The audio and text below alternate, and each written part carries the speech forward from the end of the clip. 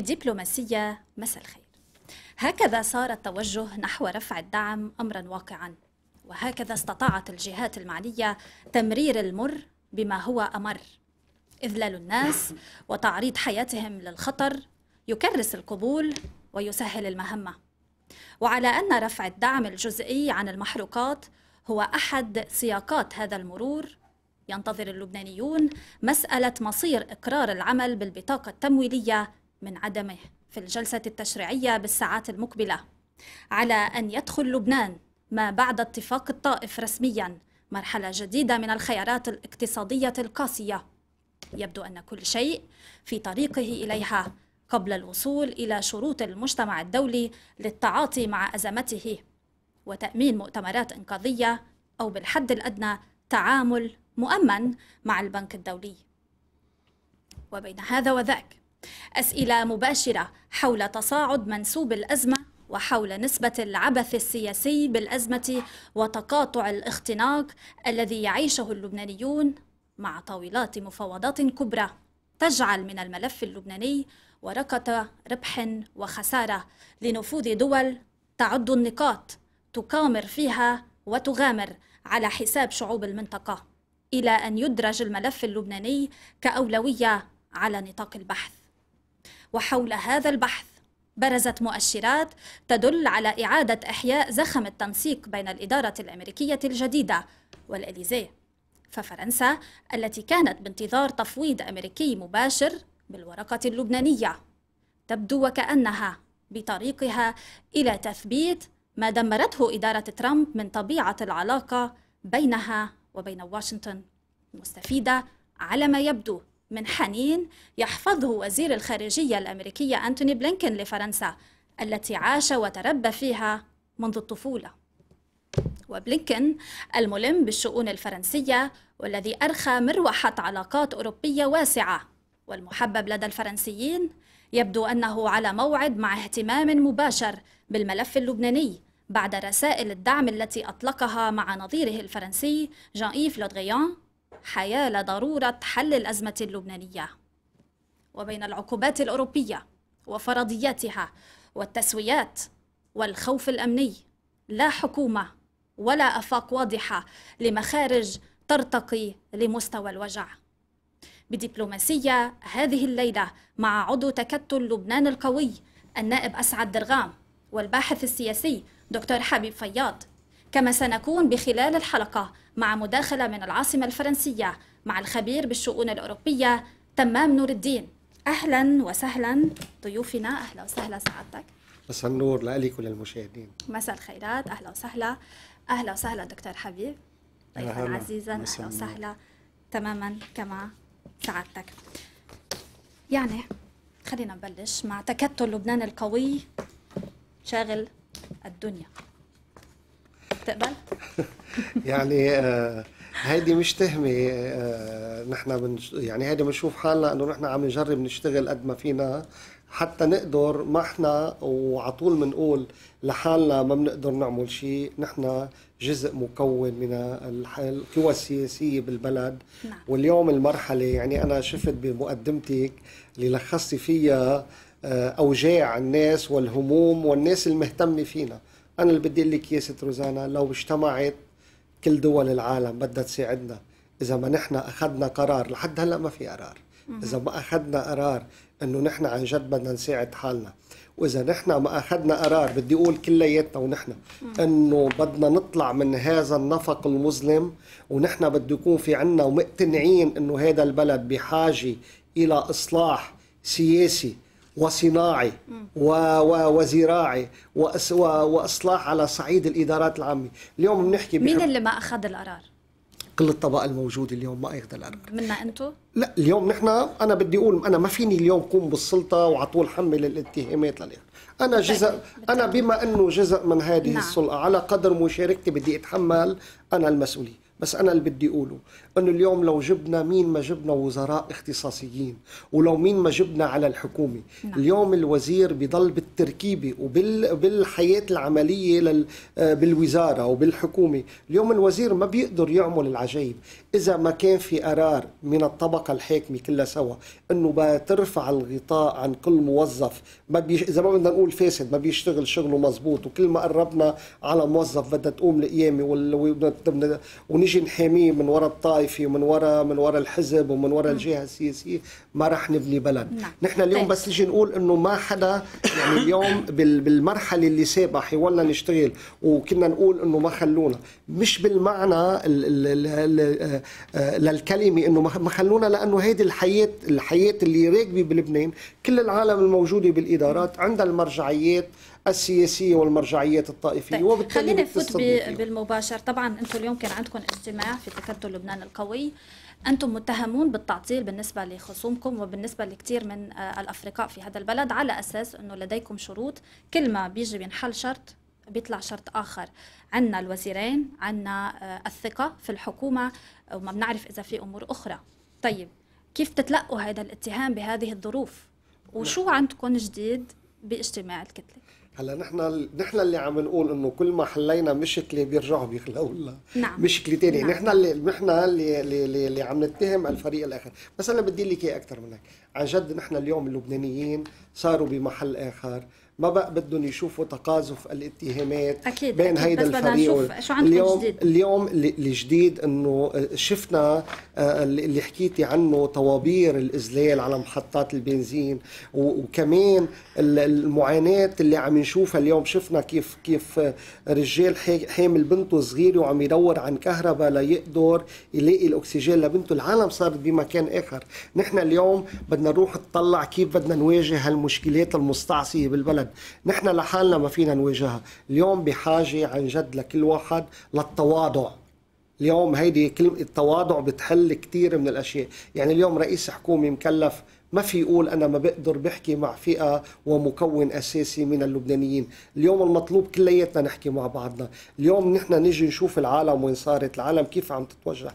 هيدي إنه أنت برأيك العالم صارت بعدها بيوارد مع مين؟ الحق. العالم صارت بمكان آخر. العالم بدها حلول. العالم بدها بدها تشوف حالها عم تقدر تأمن رغيف الخبز. وين صرتوا بالمساعي؟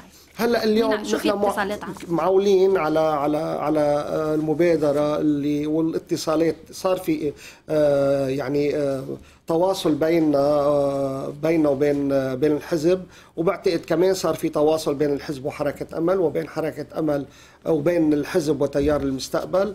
آه، نحن ناطرين حتى يرجع دولة الرئيس الحريري وإن شاء الله بيرجع قريبا لأنه بعتقد القعدة بلبنان بهيك ظروف أهم بكتير من أنه نقعد برا.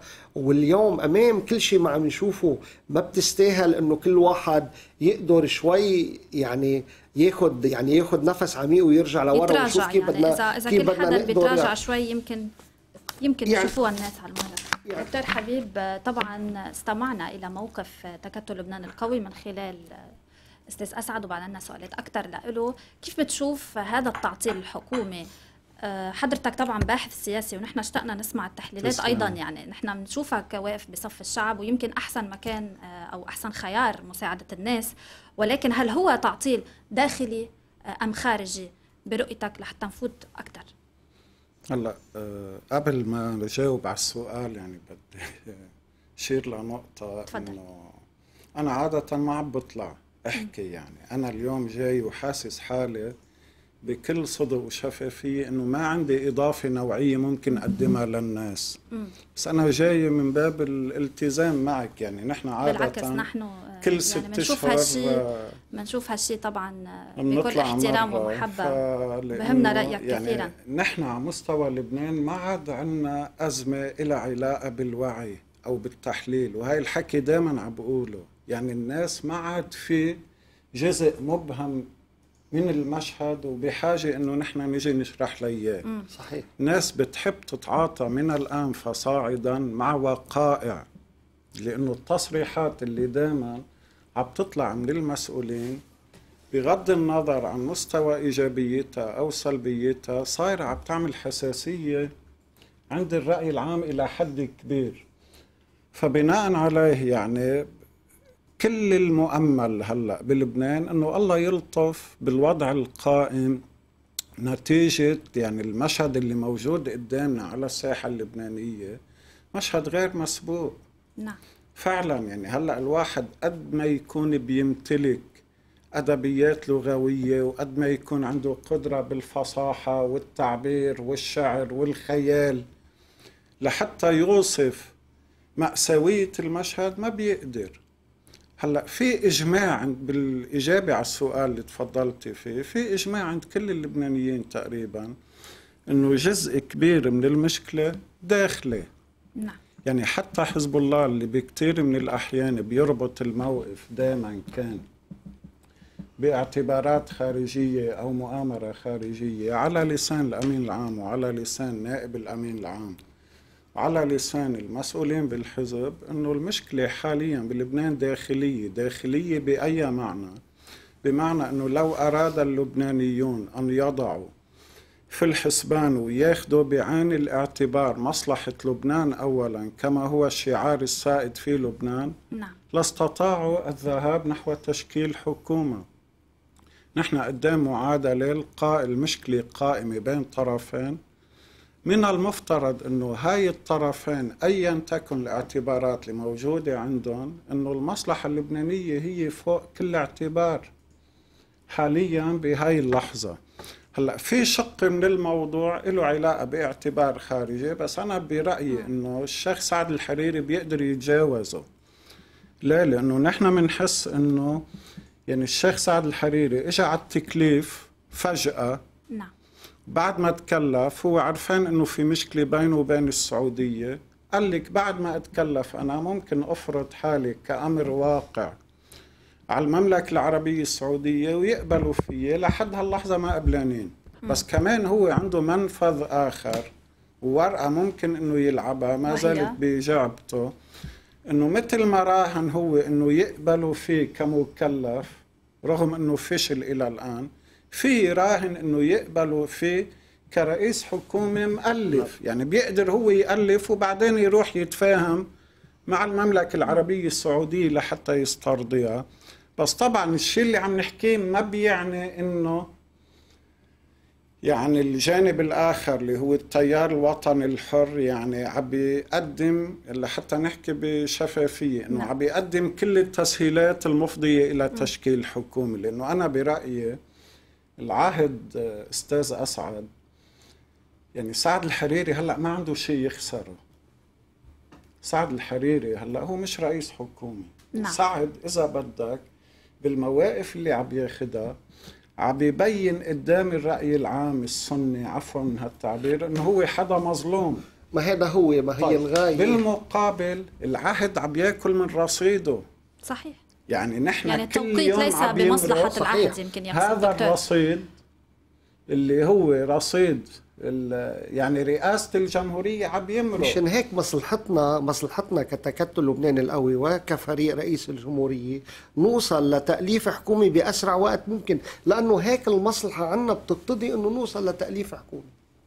لأنه نحن بعد في سنة من العهد أو أو سنة وكم شهر يعني مصلحتنا نقدر نوصل أسعد خلينا نرسم اتفضل. قاعدة عامة. يعني الحكمة العربية بتقول العرش ثم الناقش. أول شيء بعمل العرش بعدين. نحن أنا برأيي نحن حاليا يعني أمام لحظة مصيرية من عمر لبنان. أنا من الناس الذين لا يؤمنون بأنه مطلق حكومة من الممكن أنه تنقذ الوضع القائم بلبنان. بس أنا عم بحكي بمعايير الداعين إلى إلى تشكيل التسليم. الحكومة. طيب دكتور حبيب أثناء يعني بما- جوابك كيف قرأت آه، موقف رئيس كتلة الوفاء للمقاومة محمد رعد أنه هناك من لا يريد تشكيل الحكومة وهو يعرف نفسه يقصد سعد الحريري عم نقول. يعني ع- يعني يعني هو لا يريد تشكيل حكومة حسب موقف حزب الله. روزانا أنا وقت اللي عم بقول إنه العهد بالمقابل. يعني أنا هلأ لو من الفريق الاستشاري لرئيس بك- شو كنت قلت؟ طبعا بفترض افتراضا بقول له يا فخامة الرئيس خلي سعد الحريري يجي. على القصر بهاللحظة المصيرية من عمر لبنان.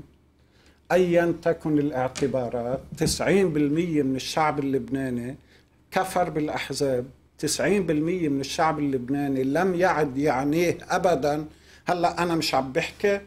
هلأ إذا حدا بيسمعني عم بحكي يمكن بيقلب. صحيح. ما عاد بده يسمعني. وهيدا بقول له يا فخامة الرئيس بنجيب الشيخ سعد على القصر بنسكر هالغرفة بنقعد نحن وياه ما بنظهر إلا ما تكون الحكومة مشكلة. مهم يطلع سعد أنا أياً بضم صوتي لصوتك. طيب. أنا مش مختلف معك ايا لا مش مش مختلفين. أنا معك. يا دكتور. أنا معك إنه لا لأنه ايا تكن الاعتبارات اللي ممكن بركي أنا- بتمونوا أنتم أكثر على الرئيس الحريري أو أو سلطة. آه، يعني بس أنا المقربين من حضرتك. لو ايا تكن الاعتبارات اللي بتخليني فوت بحالة تفاوضية مع سعد الحريري من أجل تحقيق بعض المكاسب حتى لو كانت هاي المكاسب افتراضا إلى طابع ميثاقي أو دستوري ولكن على قاعدة الضرورات تبيح المحظورات أنا بيجي وبقول له يا خي أنا وياك بدنا نمسك العصا من الوسط. مثلا وحدة من الأمور عندنا عقدة اسمها وزيرين مسيحيين. يا أخي أنا كتيار أو كرئيس جمهورية ما علي أنا قبلين بالثمانيه عم بفترض إنه أنت الشيخ سعد وهو اثنين لحتى أضمن إنه يكونوا من الحصة المسيحية وما أضرب الميثاقية وما خلي حدا يحتكر التمثيل المسيحي على الطريقة اللي كانت عم بتصير قبل 2005 خلي الكنيسة تسميهم طيب البترك خلي يعني أنا سألت. هالسؤال. بالحلقة الماضيه لا لحتى أكون دقيقة لا بس أزي. ست قال. البترك ما ما بيورط. حاله بهيك. ورطة وهن ما بدهم يشكلوا يا أختي بروح على الفاتيكان يسميهم أنا. بقبل عرفتي يعني ما حأكعى عن طريقة معينة فيما لو إنه فعلا هنالك مساعي جدية جدا إني لاقي طريقة لحل المشكلة. طبعا أنا عم بحكي بخلفياتهم لأنه إذا بتسأليني أنا بعود بأكد. أنا نعم. ما عم بنظر لتشكيل الحكومة أنا عم بحط حالي محل القيمين الذين يرون بأن تشكيل الحكومة من الممكن أن يشكل مدخل إنقاذي للوضع. شو بيجي بقول؟ بيجي بقول إنه في هذه اللحظة المصيرية من عمر لبنان تعا يا سعد الحريري. إذا أنت ما بدك خليني أقدم دليل للرأي العام إني ما بدك. ما بفوت معك بسجالات. ما برفع هذا خطأ تكتيكي. طبعا أنا عم بحكي بمحبة. خطأ تكتيكي بهيك لحظة تيجي أنت ترفع سقف شروطك بالوقت اللي البلد عم ينهار. إذا أنت عارفين مسبقا إنه الطرف الآخر عنده مشكلة يا خيي خليه هو يحرق حاله قدام الرأي العام. طيب شو ردك؟ يعني- وأنا أستاذ أبدو بذروة يعني- المرونة والتجاوب. الجهة الأخرى. أنا اولا دكتور حبيب بدي ضم صوتي لصوته وموافق معه تماما بما يخص إنه الرئيس الحريري يطلع لعند فخامة الرئيس ويقعدوا ما يطلعوا لأنه هيك الناس بدهم. نعم. الناس بدهم بقى ما بقى بدنا نطلع ناخذ ورقة ونقدم له إياها لفخامة الرئيس ونقول له هاي الورقة وافق عليها. اليوم أنا بعتقد ما هي المشكلة أساسها فقدان الثقة. بدنا نحكي بصراحة وبكل وضوح. في فقدان للثقة اليوم. اليوم كيف نيجي بنحلها بنيجي بنحلها وقت اللي بيكون في عنا الاستعداد اولا حتى نحكي مع بعضنا ونحكي لحتى نقدر نوصل لحل.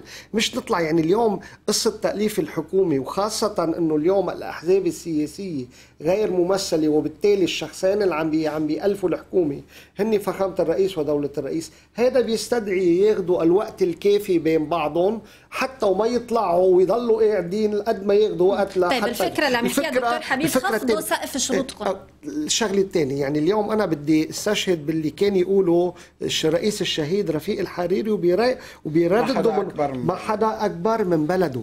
طيب اليوم وقت اللي نحن بنجي هيدي يعني اللي بنقولها هيدي خليها ما هالفكرة- حدا أكبر من إيه، شعبه يعني. اليوم اليوم أمام اللي عم نشوفه ما بيز هيدا يستدعي إنه كل هلا أنا بضم صوتي لصوتك إيه يعني هلا يعني اليوم طلعتوا متفقين. إيه يعني نحن يعني لو أول. مره أول مرة بنلتقي بس أنا من اللي اللي تسلم.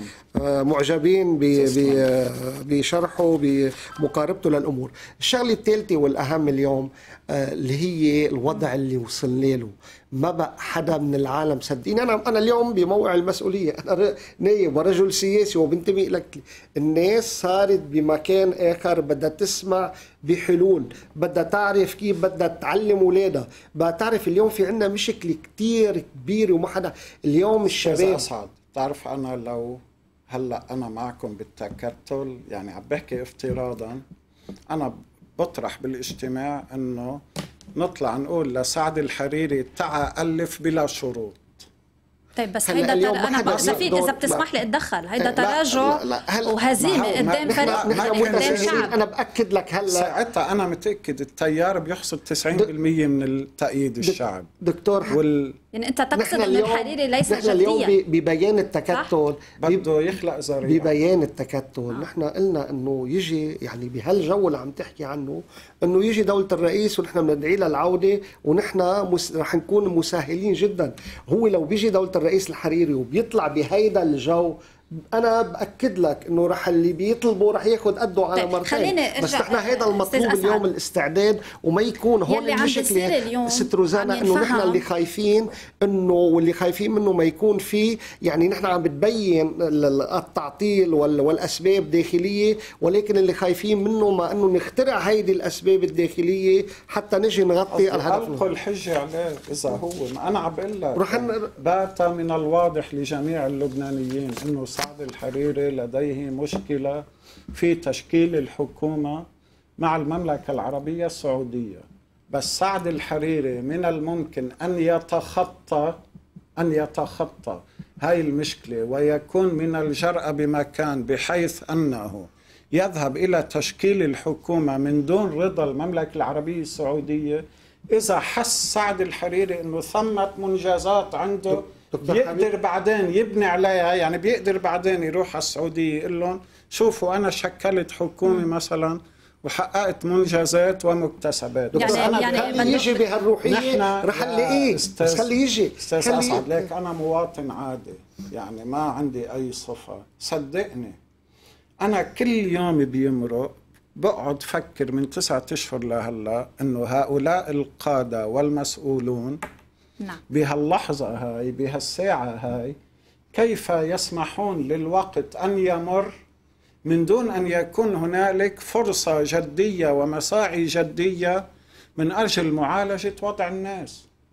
أستاذ أسعد من 17 تشرين لهلأ لو وقت ال- الجهود اللي بذلت من أجل مشاكل داخلية وتصفية مشاكل داخلية وحسابات داخلية. جزء منها كان بذل وصرف على مصالح الناس وعلى وضع البنزين وعلى وضع الكهرباء ما كنا طيب، نحن عايشين. دكتور حبيب أنا بس أنا ما بحمل أنا جهة بس إذا في طرف. طبعاً، بس طبعاً.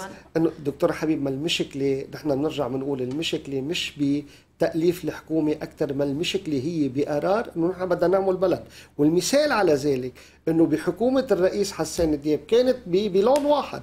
طيب شو قدرت عملت؟ ما قدرت عملت شيء لأنه ما كان في قرار رغم إنه كلهم بيعتبروا حلفاء يعني نحن وحزب الله وحركة أمل إنه والوزير فرنجي لأنه ما في قرار يا دكتور حبيب حكومة حسان دياب ما قدرت 50% أنتجت شيء. يا أستاذ أسعد 50% خلل داخلي بالحكومة بالبنية الإدارية اللي عم بتدير الحكومة و50% نحن حلفاء الحكومة ما فرضنا لها الحكومة مقومات الحكومة فشلت يعني فشلت نحن ما من, ال- من مع- كانوا داعمين لها يعني هذا بيأكد إيه، لنا إيه، إنه اليوم ليه؟ بعد ما في قرار إنه بدنا نعمل كن. كنا أمام فرصة تاريخية يا أخي شو بدك أحلى أمام منه؟ حكومة دكتور. حبيب ال- ما بدي اسميه يعني هذا المقترح اللي اقترحته إنه أن يتنازل العهد والتيار مش وغيره يتنازل يعني عم يفرجوا الحريري إنه لك ما شئت. إنه بوصل بآخر النهار لوحدة من تنفهم لا- أو إنه للسعودية بيمشي لك ما الحال. وبتتشكل حكومة. أوكي. أو إنه بحرج أنا سعد الحريري وببين أنا مش مسؤول عن طيب، التعطيل. بكلمة- هلأ إذا بتسألي كل الرأي العام اللبناني أو غالبية الراي العام اللبناني بيقول لك إنه المسؤول عن التعطيل هن الطرفين. طب يا أخي أنا ك مؤيد للعهد أو أنا كحدا دعم العهد وعملت 100 قصة كرمال يجي ال- الجنرال عون على الرئاسه أنا بلحظة حساسة ومصيرية. من تاريخ لبنان ما برفع شروط سقف شروطي. يعني هاي مش اللحظة المناسبة من أجل المطالبة شروط. بهاي الشروط. هاي كان في دكتور حبيب، وين ما شايف رفع يعني الشروط. خلينا شروط. بالتفصيل. وين شايف رفع ورفع الشروط؟ يا أختي مثلا موضوع ثلاث ثمانات عرفت؟ ثلاث ثمانات وضحوا السيد حسن إنه وضحوا بشكل كتير منطقي ومفند. خلص هيدا إنه- لا ها؟ مثالثة عم يحكي قصدي- عم يقول ما في. قصدي أنا بدي يعني بدي سهل الأمور. ما بيجي يعني إنه ثلاث ثمانيات هي مش عبط مش الهدف منها المسالسه هلا هي ال- والله العظيم المسالسه بالقرار السياسي أكثر ما المسالسه بال بال بالحصص الطائفية.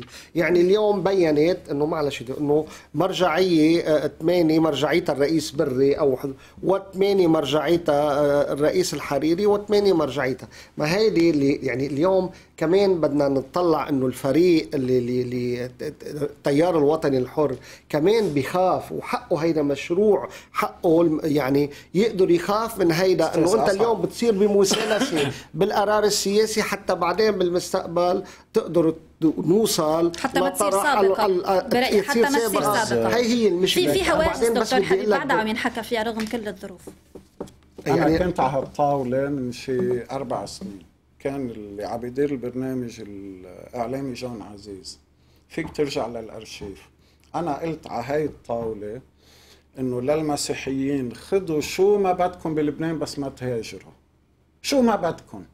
نحن مستعدين نعطيكم كل شيء بدكم إياه بس ما تتركونا ما تفصلوا الشراكة نعم. بيننا وبينكم بالوطن. وهي الكلام بعد بعيده.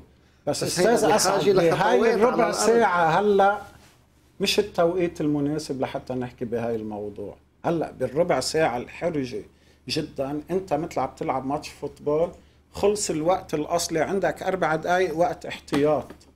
أنت كمدرب للفريق ما فيك بهاي الأربع دقائق تيجي ترسم خطة اللي انت بتطبقها على مدى 90 دقيقة. طيب لماذا لا يطلب من الفريق الآخر هيدي التنازلات؟ بنفس هيدي الروحية اللي عم تحكي فيها للأسباب المعيشية ولأنه الناس مش متحمله مش ولأنه حليف. لازم تكونوا يعني. مسؤولين. لا هلا اللي يطلب بس هو مش حليف. يعني ما إلي عليه شيء أنا عرفت لا بس كمان لا دكتور حبيب لا. لا، بس حتى ما اليوم تبين اليوم تحميل لولا حزب الله لولا حزب. الله والثنائي الشيعي اللي هن كانوا الداعمين واللي آه، كمان بدنا نحكي الأمور مثل ما هي. أسعد، قد إيه. ما هن كانوا من الداعمين لتكليف الرئيس الحريري. وكمان بدنا نقول بكل صراحة اللي اليوم كان في اتفاق بين الرئيس البري والرئيس الحريري على كل شيء وعلى كل التفاصيل قبل عملية التكليف. بس الفكرة إنه أنتم اللي لكم مصلحة بالتنازل إذا كان في شيء اسمه تنازل لأنه هيدا عهدكم. أنا قلت إنه؟ اليوم يعني العهد من. مصلحته من مصلحته نعمل حكومة.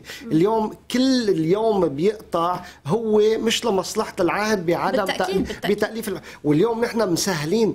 طيب ما بده بدك أنا رأيي؟ إيه نعم. يعني أنا بحس إنه ثمة مؤامرة من أجل تقطيع الوقت لحتى يمرق الزمن والأيام والشهور على العهد من دون حكومة. فوقت لي أنا بكون عم بوقف خلف بعض المواقف بما يفضي بالنهاية إلى عدم تشكيل حكومة أنا بكون عم بخدم المؤامرة. طيب. اليوم بس بالنسبة لسعد الحريري بدي أوضح إنه الحزب آه، إنه حضرتك قلت الحزب داعم وأستاذ أسعد. أنت بتعرف إنه حزب الله حزب آه، مبادئ أنا برأيي وحدة من أزمات حزب الله إنه ما بيعرف يشتغل مصالح يعني مبادئ وهيك مثل القطار. المبدأ الأول إنه الشيخ سعد هلأ ما زال هو الأول بطائفته طالما هو يرغب ما بقدر أنا أستبعده. هاي القاعدة عم يشتغل عليها المبدأ الثاني أو السبب الثاني. إنه التسوية الرئاسية أقيمت على قاعدة إنه الجنرال عون رئيس جمهورية والشيخ سعد الحريري رئيس حكومة. بس ما حدا قال له للرئيس الحريري يستقيل ويفل هو اللي أقصى حاله. استقال إيه بس هو ما استقال مدى الحياة. أنا إيه. عم بحكي إيه. بمنطقه هو. يعني طالما سعد الحريري لديه رغبة بأن يكون رئيس حكومة ما بقدر أنا بس هو كان بيستدعي ينسق مع حلفائه ومع مع شركائه بالتسوية لما كان بده يستقيل. هلأ اليوم هيدي مرحلة بالسابق ما بدنا يعني اليوم العالم ما بدها تسمع هيدا الجدل إنه ليش استقال. اليوم العالم مثل ما متفقين أنا وياك بعتقد إنه اليوم بدنا نوصل لحكومة بأسرع وقت لأنه مش من مصلحة حدا والناس ما بقى ترحم حتى الناس ما بقى تسمع أو بدها طيب تسمع خليني. أحكي بتفاصيل ما بعرف قد إيه بتهم الناس. قيل إنه في ليونة من التيار الوطني الحر لإعطاء الثقه للرئيس الحريري. صحح لنا إذا هالمعلومات صحيحة وإذا إذا التزم بالتدقيق الجنائي تحديدا وإذا صار في هذه الالتزامات يعني وين صرنا؟ يعني اليوم ست... نحن في ثمان وزراء رح يكونوا ممثلين عن عن يعني أو بيدعمون تكتل لبنان القوي أو بيدعمون أو بي بي يعني تسميتهم بتكون تماماً. يعني اليوم من المنطق إنه نحن نعطي ثقة بس ما فينا نعطي ثقة ونحن تجارب الماضي ما التجارب الماضيه كان فيها دولة الرئيس الحريري وكان فيها ال- آه، اللي اللي هو رئيس حكومه وكان فيها توافق سياسي وما قدرنا وصلنا لنتيجة. نحن اللي أكثر شيء بيهمنا هل عن جد بدنا نعمل إصلاح؟ هيدا اللي بيعنينا. إذا تبين لنا أنه هن عم يطلب منا أنه الثقه المسبقه نحن في عنا ليوني بهيدا الموضوع. بس ولكن لا بس كمان تطلب- بس لا بدي أسألك عن كيف إيه. تتسرب للصحف. لا إيه، لأنه بصحيفة ما في ليونة طيب- وبصحيفة تانية في ليونة. طيب يعني كيف عم بتدهروا الأخبار لا بأي بس طريقة؟ بدي, بدي أقول لك شغلة. اليوم التدقيق الجنائي ما كلياتنا اتفقنا عليه بمجلس النواب. ما كل الكتل صوتت عليه. شو اللي بيمنع إنه هيدا التدقيق الجنائي مثلا يكون بالبيان الوزاري؟ نعم. شو شو اللي بيمنع؟ إذا عن جد نحن بدنا نعمل إصلاح. وأنا برأيي ما فينا نعمل إصلاح ما في شيء بيمنعه بس ما بيصير. بس كيف بيصير إنه ينطلب منا ثقة من دون؟ لا. يعني اليوم. إنه ثقة مسبقة. لا. أنا هوايتي- يعني اليوم أنا بدي أجي أقول لك. يعني دكتور حبيب يعني اليوم أنا عم بيجي أقول لك بدي أجيب لك عروس مطمشة وكذا وبدك تقبل فيها. هيدي كانت تصير؟ كانت تصير من شي 100 سنة؟ ما بقى تزبط هلا. أنا هوايتي. عجبتك. أنا كل ما يكون عندي وقت فراغ بتعرف شو بعمل؟ بفتح البيانات الوزارية للحكومات المتعاقبة بس اليوم من غير. 20 سنة لا بس. عبي وقتك غير. بشيء أهم من البيانات الوزارية بالفراغ يعني لحتى مارس نوع من الكيد الذاتي إذا تعرف. اليوم في مجهر بقرأ. البيانات الوزارية اليوم في عنا اليوم في عنا من حسنات من حسنات هذه الأزمة أنه اليوم نحن عنا المجتمع الدولي نحن ما فينا نخلص من دون دعم المجتمع الدولي والمجتمع الدولي مش رح يعطينا أي مساعدة إلا ما نعمل إصلاحات. نحن أنا تحليلي الشخصي إنه إذا كان لابد من حكومة مش بالضرورة هاي الحكومة ما زالت قادرة على طرح شعارات أنا برأيي بالحد الأدنى شعارات إصلاحية. مطلوب الحكومة من أجل تخفيف وجع الناس. يعني يمكن ما تقدر بس- مش يمكن على الأكيد. بس اليوم صندوق النقد الدولي والبنك الدولي. مش رح يتطلع فينا. البنزين مش رح. يتطلع فينا. أستاذ أسعد خلص هيدا لبنان اللي كنا نعرفه بدنا نبنيه. أنا برأيي خلص. أنا وياك هلأ لازم نفكر بمرحلة جديدة. بأي لحظة أنا برأيي ممكن. بلحظة إقليمية ودولية مؤاتية. بيجي المجتمع الدولي مع أطراف إقليمية بيد- بيدعوا لبنان على الطاولة بيلاقوا معهم أمريكا إيران السعودية مش هيدا اللي. مش سوريا اللي عرفت. ويلا يا لبنانيين اتفقوا على صيغة معينة و... بانتظار تلك اللحظة أنا برأيي مفترض كلنا فينا نحن نجيبها للحظه دكتور لا. يعني فينا نفرض حالنا على الخارج لا. بس لأنه في نقطة قال السيد نصر الله إنه مش نحن الجهة التي تنتظر الاتفاق النووي الآخرين ينتظرون مزبوط. هذا الموقف مزبوط. معناته الموقف كتير كبير والأزمة يعني مش, مش بايدنا بدنا. ننطر هيك كثير مش بقول لك شيء هلأ الإيراني والأمريكان ما عم بيحكوا بأي وضع خارج الإطار النووي تماماً. بس في حال استقرت الأمور بين أمريكا وإيران ممكن الأمريكان يطلبوا من الإيرانية إنه في مشكلة مش كرم حبا فينا لأنه الغرب له منظومة مصالح عرفت؟ إنه نعم. تعا خلينا نقعد ضمن إطار تحت مظلة دولية نشوف شو بدنا نعمل بالنسبة للبنان. فمن هلأ لهديك اللحظة أنا وإنت وكل حدا لبناني لازم نتحول لجمعية خيرية لإنقاذ اللبنانيين. أنا برأيي جمعية خيرية يعني شو بنقدر نقدم للبنانيين؟ على مستوى الكهرباء الدواء البنزين ال... لأنه مثل ما بلشنا الحلقة أستاذ أسعد ايا تكن البلاغة والقدرة الكلامية عنا ما حنقدر من خلال الحكي نعمل توصيف لوجع أنا الناس أنا برأيي اليوم نحن بدنا نركز على شغلتين نعم. أول شغلة اليوم كي كيف بدنا نخفف من المعاناة اللي وصلت لمرحلة نحن اليوم كنا إذا بتتذكروا من سنة ولما نسمع بالنموذج الفنزويلي ونقول كيف كان عم بيصير كنا نفكره بعيد عن كنا لبنان. هو كنا نقول الله يساعد العالم كيف عم بتعيش هونيك لأنه نحن في عنا لبنانيين مغتربين ومنتشرين هونيك اليوم نحن اللي بفنزويلا صاروا عم بيقولوا إنه ليك الوضع اللبناني وين صار؟ نحن اليوم علينا كيف بدنا نخفف حجم هيدي المعاناة والشغلة الثانية والأهم كيف بدنا هالشاب اللي خلص جامعته؟ وهون المشكلة الكبيرة اليوم هيدي الهجرة عند الشباب أنا بأكد لك اليوم 90% أو أكثر من الشباب اللبناني اللي خلص جامعته اللي له في فيزا لوين ما كان يكون يمكن على السودان مع احترامنا لهونيك بده يترك أستاذ. أسعد هيدي قبل الأزمة كان يحلم فيها بقى لا اليوم هيدا اللي لازم يمكن ما عندنا. وصف شو عم يشعر اليوم آه، حكي هيدا معي. حدا إنه يعني بده يبعت ابنه على العراق ب 400 دولار بالشهر يبعت ابنه على العراق يشتغل بالعراق ب 400 دولار بالشهر. إيه طيب اليوم بعتبر إنه هاي فرصة يعني. يعني اليوم العسكري للأسف للأسف. العسكري اللي عم نطلب منه مهمات على الأرض ومهمات بيخدم خمس ست أيام وبده يحمي الحدود وبده يحارب الإرهاب وبده يوزع مساعدات اليوم معاشه 70 80 دولار. ما هون إنه قدرنا وصلنا وأنا برأيي اليوم في بعد عنا هالمؤسسات الأمنية وخاصة الجيش اللبناني. إذا وصل وإذا ما قدرنا حميناهم أنا برأيي وصلنا لمرحلة من الفوضى ما بقى ينفع معها لا حكومة ولا غير حكومة. وأنا بدي أرجع أكد إنه أنا بضم صوتي لك حتى يكون دولة الرئيس الحريري بأقرب وقت بلبنان ونطلع انه نقول بهيدي المقولة اللي كان يقولها بيو الرئيس الشهيد ونطلع بقى نتواضع شوي وبدنا نقعد كلياتنا وبدنا نخلص البلد وبدنا طيب. نشوف كيف لا. بدنا نقدر على الأكيد ما رح نقدر نعمل المستحيل وعلى الأكيد ما رح نرجع على لبنان اللي كنت عم تحكي عنه هيدا لبنان اللي كنا عايشين فيه بكذبة كتير كبيرة هيدا راح بس بالقليل كيف نعيش بالحد الأدنى بالحد الأدنى من الحياة الكريمة مم. حتى يعني ما نطلع عن كثير نقاط. بدي أحاول آخذ مواقف بدي أحاول آخذ مواقف سياسية منك كيف قراتوا موقف النائب محمد رعد بعد دعوة الوزير باسيل آه، سيد نصر الله للتحكيم إذا صح التعبير شفتوها آه، يعني تقارب أكثر يعني مجرد حديث السيد على حسن. أنكم أنتم بمشكل آه، كيف نحن؟ نحن أول شيء بينبع الدعوة اللي, اللي أو الكلام اللي وجهه الوزير باسيل للسيد حسن أول شيء بينبع من ثقه اليوم في ثقة مطلقة بين الطرفين. يعني قد نختلف بالملفات في بالملفات الداخلية وبكيفية بناء الدولة وهيدي في وجهات نظر مختلفة.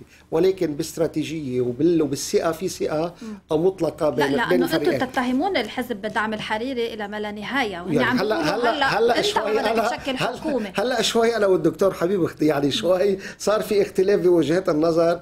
إنه نحن الليلة إنه كان في دعم للحريري؟ ودعم واتفاق. أنا بدي أقول مش حزب الله بين الرئيس بري والرئيس الحريري قبل عملية التكليف على التفاصيل. نحن حبينا الحريري كرمالكم. قوي كثير يعني أنتم وقت مشيتوا مع الحريري نحن راضيناه كرمالكم. إيه بس بعدين آه، بال 2005 يا لطشة دكتور التسوية. دكتور خمسة بال مش 2000 بال 2000 سبقتونا 2016. سبقتونا لطشة كثير. بال 2005 أنتم والرئيس الحريري. ما تعلمناها. يعني نحن كنا شو ما بده العهد نعمل وتصالح مع الحريري تصالحنا معه. يعني صار. يعني اليوم إن شاء الله كل اللبنانيين ونحن ببيان تكت اللبناني القوي اليوم كمان أشدنا باللقاء اللي صار بخلدي وإن شاء الله هذا بيصير بين كل الفرقاء اللبنانيين إنه اليوم آه، وهيدا بيلخص المعاناة إنه إذا كل هالفرقاء اللبنانيين اسمح لي بيجتمعوا. بس آه، تفضل. يعني أنا برأيي نحن بوضع ما حدا بمنأى عن أن تطاله رياح الأزمة. 100% ما في حدا يعني هاي نظرية الباخرة والكل عليها أو الطيارة والكل عليها أنا برأيي صحيحة. نحن حاليا عم ننتقل من مرحلة الجوع إلى المجاعة. صحيح. الجوع إنه في عنا أفراد ما قادرين يأكلوا. مجاعة بتطال مجتمع. أنا بدي دواء مثلا معي 100 دولار معي مصاري. الحمد في. لله. عبفت الكل لبنان ما عم بلاقي دواء. أنا بدي كهرباء. معي مصاري. عم بنزل عند تاع الاشتراك بقول له يا خيي خذ 200 دولار وض... بيقول لي ما في مازوت صحيح.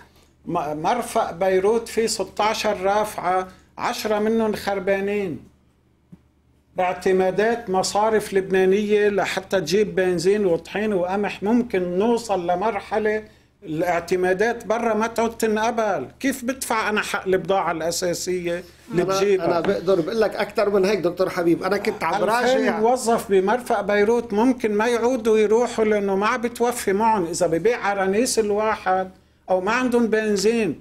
طيب في ظل هاي الوضع هلأ نحن عم نحكي قدام الرأي العام. يعني في مصطلح بالفلسفة نحن بنستخدمه بس لرب العالمين إنه واجب الوجود. إنه الله سبحانه وتعالى واجب الوجود. استغفر الله ومن باب المسامحة بالتعبير أنا هلأ بقول لك التفاهم الداخلي لحد وجع الناس واجب الوجود. يعني أنا بدي أقول لك أكثر من هيك يعني عم تحكي حضرتك عن عن آه، مرفق بيروت وكان في حمال مش ماشي. أنا بدي لك أكثر من هيك. امبارح اللي عرفته من إحدى المراجع القضائية إنه ما عندهم ما عندهم ورق حتى يصدروا أحكام آه. طيب وهيدا ما له وراء يعني اليوم في أحكام بدها تصدر بكل المؤسسات وبكل الإدارات مع- يا يعني من. وصلنا الحكم يعني اذا اذا تعطل ما مشكله إذا بس المسؤولين عم- عم يشتكوا. بدنا مازوت بدنا بنزين لا نحن عم نقول إنه الأبسط هيدي إذا الورقة انفقدت يعني يعني إذا الورقة طيب، انفقدت أنا بدي يعني استكمل كل شيء بدي صار أستكمل. آه، هذا الحديث وهو يعني بعد في كثير تفاصيل بدنا نحكي فيها بس بدي أروح على المداخلة من فرنسا مع الخبير بالشؤون الأوروبية تمام نور الدين. مساء الخير. مساء الخير ست روزانا لك ولضيوفك الاعزاء مساء النور. مساء الخيرات. آه، أستاذ تمام بدي فوت بالأسئلة مباشرة لأستفيد من الوقت. في عنا طبعا آه، صار في آه، لقاء بين وزير الخارجية الأمريكي ووزير الخارجية الفرنسي. وتم التطرق للملف اللبناني على أساس أنه هو ضرورة وبلش الحديث أنه لازم نحل هذا الملف. نحن لحد هذه اللحظة ما لمسنا أي جدية بهذا الإطار يلي هو إحياء المبادرة الفرنسية من جديد. والسؤال لماذا هذا التأخير؟ وهل آه، هيدي المرة بتشبه سابقاتها أو في شيء جدي؟ وشو مؤشراته؟ آه بدي بلش من آه، لقاء وزير خارجية بلينكن مثل ما ذكرتي مع لودغيون وزير خارجية فرنسا. نعم. لما اثنيناتهم الكلام اللي قالوه بيقولوا اتفقنا على حل في لبنان للأزمة السياسية. يعني ما قالوا سنتفق سنلتقي وسندرس. نعم. اتفقنا. وضحكوا وقالوا موضوع الفساد وإجت السفيرة الأمريكية بنفس اليوم فسرت خليني أقول الاتفاق وحكت لمحت يعني كان كلام بلينكن خليني أقول شوي آه، ما بدولي بيستحي بلينكن بس إجت حكت أكثر شوي تفاصيل هلأ الشيء اللي الإعلام اللبناني ما حكى عنه وأنا نعم. يمكن لحالي اللي حكيت عنه اليوم الاجتماعي اللي صار اليوم بروما بين فرحان بن فيص آه، بن فيصل بن فرحان. فيصل بن فرحان ولودغيون وبلينكن اجتمعوا وقرروا تم قرار حكوا بالملف اللبناني. يعني آه، غريب الإعلام اللبناني ما حكى عن الموضوع. نعم. هذا كثير شيء أساسي. هذا ترجمه للاتفاق الأمريكي الفرنسي بموضوع المبادرة الفرنسية. آه، اليوم صار الاجتماع بروما والاجتماع كان حضوري. يعني نحن السوريين تقريبا لهم غايبين عن المشهد اللبناني والساحة اللبنانية. فترة طويلة من الزمن خليني أقول. آه بيقولوا إنه هن مش يعني ال- الأخبار اللي بتجي من هونيك إنه هن لا يهتموا وناطرين النتائج. ولكن اليوم في اجتماع حضوري وليس عبر الزوم أو عبر الفيديو بين بلينكن والوزير الخارجية السعودي ولودغيون. آه، النتائج يلي يلي يلي وصل لها كمان كتبتها على التويتر هي دعم تشكيل حكومة لبنانية بأسرع وقت ممكن. هلأ في آه، صار في وصلوا لخيارين. خيار إنه آه، آه، يعني سعد الحريري آه، يشكل حكومة. وفي خيار ثاني اللي هو خلينا ما بدي أقول الأقوى في خيار ثاني إنه ايجاد مخرج لائق لسعد الحريري بالاتفاق مع الجميع يعني إنه يخرج من ال- ال- الموضوع التكليف. يعني يسمي حدا آخر؟ شخصية وحتى يسمي الوزراء. وهي الحكومة بتكون شغلتها فقط وفقط الانتخابات. وموضوع دعم بسيط خليني أقول آه، للشعب اللبناني تا ما يفرط الوضع أكثر لأنه لأنه بالنسبة للأوروبي والأمريكي الانتخابات استحقاق الرئاسة وموضوع آه، الاستحقاق النيابي هو خط أحمر. يعني هاي ما أستاذ تمام بس لحتى أنا آه، أكون دقيقة هيدا الكلام يلي هو يا إما يشكل الحريري أو شخصية أخرى يفوض الحريري أيضا بتسمية الوزراء انقال بقمة بلينكن ولودريان ولا بال... بال... ولا بروما اليوم هيدا الحكي اللي عم يصدر يعني اللي بلش يوصل على ال- خليني أقول اللي بلش يوصل لل- لل- للأذان أو لل- للناس اللي اللي شغلتهم الملف اللبناني. نعم هيدا الح- الحكي اللي بلش يوصل يعني طيب ف- آه، كي- كيف ممكن يصير الضغط على الأفرقاء اللبنانيين للتشكيل؟ هل هو ضغط أم إنه حانت الساعة اقليميا ودوليا لنحل هذا الملف اللبناني وبصير بكل سلاسة بطبيعة الحال؟ آه، في عقوبات جديا وليش دايما لا. التلويح بهذا؟ مش تلميح يعني خليه ياخذوا شوي حكي الفرنسي بجدية شوي الفرنسي فرض عقوبات وبنعرف يعني حتى مين هي يعني بنعرف خليني أقول الفرنسي خليني أقول الهوى الفرنسي بالعقوبات على مين؟ أه هلا إذا بدنا نجي نفوت بالتفصيل إيه في عتب فرنسي على يعني ليش هن ليش خط أحمر موضوع الاستحقاق الرئاسي والنيابي؟ لأنه بيعرفوا إنه بهاي القوى السياسية الحالية ما بيقدروا يشكلوا اكثريه تقدر تاخذ القرارات المصيرية بموضوع الإصلاح المالي اللي مطلوب من لبنان. يعني من دون إصلاح مالي ما في مساعدات ما في قروض ما في هبات. ستعطى إذا تشكلت حكومة القليل من آه خليني أقول آه سيولة أو يعني تسهيل أمور الشعب اللبناني لتمرير هذا الوقت وللوصول إلى الانتخابات وتغيير يحاولوا إيجاد أكثرية جديدة لاتخاذ يعني ما في حدا من هاي الأكثرية بيقدر ياخذ آه آه، بيقدر ياخذ أو بده ياخذ آه، قرارات ما بدهم الأكثرية ما بدها. الاكثريه مش كالاكثريه النيابيه لا أكثرهم. هون بكون بكون دقيق باللغة العربية. طيب شو اللي بده شو اللي بده ياخذهم ساعتها على القبول بالطرح؟ يعني إذا هن ما بدهم شو هي الساعة السياسية يلي هلأ عم نحكي فيها يلي بتخلي يفرض الحل؟ يعني إذا في شو اللي تغير؟ يعني إذا في عقوبات فرنساوية ومن وراء منها عقوبات أوروبية والأمريكان الأمريكان اليوم داعمين داعمين المبادرة الفرنسية. دعم دعم صلب.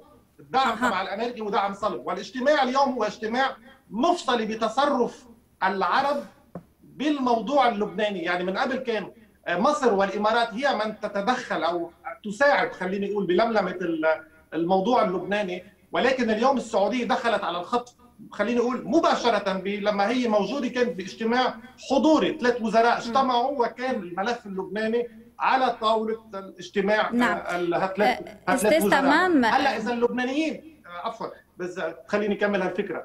إذا المسؤولين اللبنانيين مش خايفين من عقوبات فرنسية مش خايفين من عقوبات أوروبية مش خايفين من من من عقوبات أمريكية ومش خايفين إنه الانفجار الشعبي والاجتماعي بوجههم ما ما بعرف يعني شو شو شو بقى يعني كيف نعم آه، أستاذ تمام آه، بيقدر الفرنسيين ياخذوا الثقة للرئيس الحريري عند السعوديين إذا كانت هيدي المشكلة آه، هي الأساس حسب ما يحكى ولا مهم تمشي المبادرة الفرنسية ولا تتوقف عند اسم الحريري؟ يقال يقال أنه إذا إذا مشى سعد الحريري بهيدا خليني أقول الديل اللي عم بيصير هلأ عم يركب بين هالثلاث أطراف هيدي. قيل بلش يعني بلش يكبوا له معلومات إنه ممكن أن تفتح أبواب السعودية له إذا مشي بهالموضوع هيدا. هلأ الموضوع ليس فقط بيد سعد الحريري تشكيل الحكومة. كلنا بنعرف إنه رئيس الجمهورية ما بده يمضي. يعني الفرنساوي شايف هيك بقول أنا ما بقول رأيي ومش أنا اللي عم الفرنساوي بيشوف إنه رئيس الجمهورية لا يريد التوقيع. لذلك لذلك تم إجراء دراسات الفرنساويين أجروا دراسات ست دراسات دستورية من كبار الدستوريين اللبنانيين والفرنسيين حول المادة آه، المواد الدستورية 64 و 53 على ما أظن. وبموضوع يعني بيقدروا يزرقوا لرئيس الجمهورية بيقولوا له إذا إذا إذا بدك الماده 53 هي موضوع تشكيل الحكومة فإذا ما فيكم ما تجوا تقولوا بدنا هي بالتشاور ما فيكم تجوا تقولوا بدنا نشارك بتشكيل الحكومة. على كل حال تفسيرها كثير تفسيرها من الجهتين كثير مطاطي هذه المادة أصلا بس بكل الأحوال. بلاقوا لك كثير تفاسير. جابوا ثلاث دستوريين لبنانيين كثير مهمين ودستوريين فرنسيين كمان مشهود لهم يعني من أهم دستوريين بفرنسا وفسروا هالموضوع هيدا بموضوع المادة 53 و64 فحطوا له الخيار يعني حطوا له الخيار لرئيس الجمهورية. شو بدك؟ 53 ولا 64 طيب على هل هل هل تجرؤ فرنسا على آه، تنفيذ العقوبات؟ ولأنه طبعا في علاقة تاريخية مع لبنان وهيدا بيعمل شك بالعلاقة يعني بده يغير شيء لشك وخصوصا يعني على أطراف يمكن ما بتتوقع إنه يصير عليها هذا الموضوع. آه وكمان نقطة تانية إنه البعض منه خايف من العقوبات الأمريكية اللي هي أصلا في بعض الناس آه عملت لها تعديل أو عملت آه خلينا نقول استئناف للدعوة وسقطت العقوبات. فكيف بالحال يلي بيقولوا إنه العقوبات الأوروبية والفرنسية بتجي أخف وأقل وطأة؟ يعني قد إيه مؤثرة؟ هلأ ما بدي أحكي عن العقوبات الأمريكية بحكي عن العقوبات الفرنسية والأوروبية. أول شيء إنه إذا ناطرين عم بيقولوا لا العقوبات الفرنسية فرضت العقوبات الفرنسية وتبلغ أصحاب الشأن إنه هن ممنوعين من دخول الأراضي الفرنسية، هذه أول خطوة. الخطوة الثانية وضع اليد على الأموال، الخطوة الثالثة العقوبات الأوروبية، يعني ما بقعد بيقدر يفوتوا على كل دول الشنغن ما بقعد حدا يقدر يتعامل معهم. يعني مثل مين اللي تم العقوبة مثل مين هالأسماء. ما, ما بدي فوت بأسماء بس ما أصبح الهوى الفرنسي الهوى الهوى الفرنسي. بموضوع التعطيل نعم. يعني أنا صرت حاكي أكثر من مرة فيه موضوع التعطيل بحطوه تقريبا على آه، جهة معينة. خليني أقول التعطيل بتشكيل الحكومة وليس التعطيل يعني بموضوع الإصلاحات وليس التعطيل لأنه كمان آه، في أطراف مثلا الثنائي الشيعي عطل عطل موضوع اديب لما انضرب المباد... المداورة مبدأ المداورة ضربوه والسيد حسن كمان من من لما بآخر خطاب طلع حكى إنه طلعنا قلنا له للرئيس عون كيف بدك تمضي على حكومة ما لك رأي فيها وكذا؟ فكل واحد عطل قد ما بيقدر وحسب مصلحته. سيد حسن ضربوا ضربوا المبادرة الفرنسية كلهم. ما في طرف نعم. خليني أقول. طيب اخر آخر سؤال آخر سؤال. الاهتمام الفرنسي بلبنان هو آه اهتمام نفطي آه سياسي؟ شو هو؟ يعني هذه الحماسة شو هي؟ وبالنسبه وبالنسبة للوم على الأفرقاء إنه هن ما عم يلتزموا بالحديث أكثر من هيك إنه المبادرة الفرنسية هي يلي هشه وضعيفة وما بتقدر آه تمون على هذه الافرقاء لأنه بلشوا شيء وانسحبوا. ما كان عندهم هالزخم أيام ترامب. يعني ما في شيء اسمه مبادرة فرنسية. رح بلش من الأطراف اللبنانية. الأطراف اللبنانية نعم. معظم الأطراف اللبنانية استغلوا خليني أقول عدم الحماس الامريكي خليني أقول إنه الأمريكان مش اخذين موقف صلب. بدعم المبادرة الفرنسية وضربوا المبادرة الفرنسية، يعني مثل ما قلت لك وقت حكومة اديب هذا موضوع التوقيع الثالث البدعة هذه البدعة. يعني كان في كثير سنوات قبل كان الوزير سني وما شفنا رئيس مجلس النواب طلع وقال بدنا التوقيع الثالث والطائفة الشيعية، يعني هذه بدعة. إجت بضرب هيدي كانت من أيام رفيق الحريري يا أستاذ تمام. هذه البدعة اللي عم تحكي عنها. السنيورة شيعة السنيورة؟ لا لا لا لا. موضوع موضوع وزارة المالية والتوقيع الثالث من لما كان الرئيس الشهيد يشكل حكومات بيعرف حيثيتها عند ما كان في ثنائي عند عند الشيعة. مش بدعة جديدة يعني. الوزير كان يكون سني ولا شيعي؟ بتوافق؟ أكيد بدك توافق. أنا بوافقك الوزير كان يكون سني ما كان شيعي جورج ارم جورج ارم اليسابا إيه صحيح صحيح. كان كانوا يقال إنه أيام السوريين ما كان بدهم هيدي الضمانه خلينا ما نفوت بموضوع ثاني لقيت لك جواب تخاف لقيت لك جواب. حكومة اللي اعتقد بحكومة مصطفى أديب هو تمسك الثنائي الشيعي بوزاره المالية. هو بدي له للدكتور حبيب أيه بس إنه بس ما في فريق قصر بلبنان لما قصرت القصة له يعني. بس خليني أوضح. أنا برأيي الشخصي إذا الشيعة هلأ بدهم يتمسكوا بوزارة المالية وهذا التمسك يؤدي إلى تعطيل تشكيل حكومة بلاها المالية. يعني نعم. بدك رئيس بري يا دكتور حبيب. بدك تقنع الرئيس بري بلاها قصدي أنا يا أخي كمواطن شيعي لا أريد وزارة المالية بدك تقنع الرئيس بري في حال كان هالموضوع يؤدي إلى تعطيل حكومة. طارت حكومة مصطفى أديب من وراء وزارة المالية. إذا كانت وزاره من وراء الثنائي الشيعي. طير صحيح صحيح صحيح. طير المبادره المبادرة الفرنسية. طير المبادرة الفرنسية ب أنا برأيي مش هو من طير المبادرة الفرنسية بحرينا هلا ما حدا أصلا ما حدا عن موضوع المبادرة الفرنسية الست روزانا شو كان السؤال نعم. الثاني؟ لأنه نعم الاهتمام الفرنسي هو نفطي يعني بشكل خاص لأنه مرقنا بكثير أزمات ما تدخلوا الفرنسية يعني. من 2012 لهلا. بس هو وقت الاستقال مصطفى أديب كانوا متجاوزين. بس تي يكمل جوابه الأستاذ تمام. آه بموضوع الاهتمام الفرنسي بال 2006 بال 2006 وقبل ال 2000 يعني خليني بلش من ال 2006 نعم. وبعناقيد الغضب كمان. كان الرئيس شراك يبعث وزير خارجيته ما يفل من المنطقة إلا ما يعمل وقف إطلاق نار. وكانت علاقته سيئة بإسرائيل الرئيس شراك. أوكي؟ فهيدا لكن في نفط ولكن في غاز ولا من يحزنون. في علاقة فرنسا المبادرة الفرنسية لها سببين. سبب تاريخي علاقة فرنسا بلبنان وهلا بحكي عنه هاي الكلمة. وسبب فرنسي داخلي. السبب التاريخي بتجيبوا كل الأدبيات الفرنسيين وزراء الخارجية ورؤساء الحكومة ورؤساء الفرنسيين.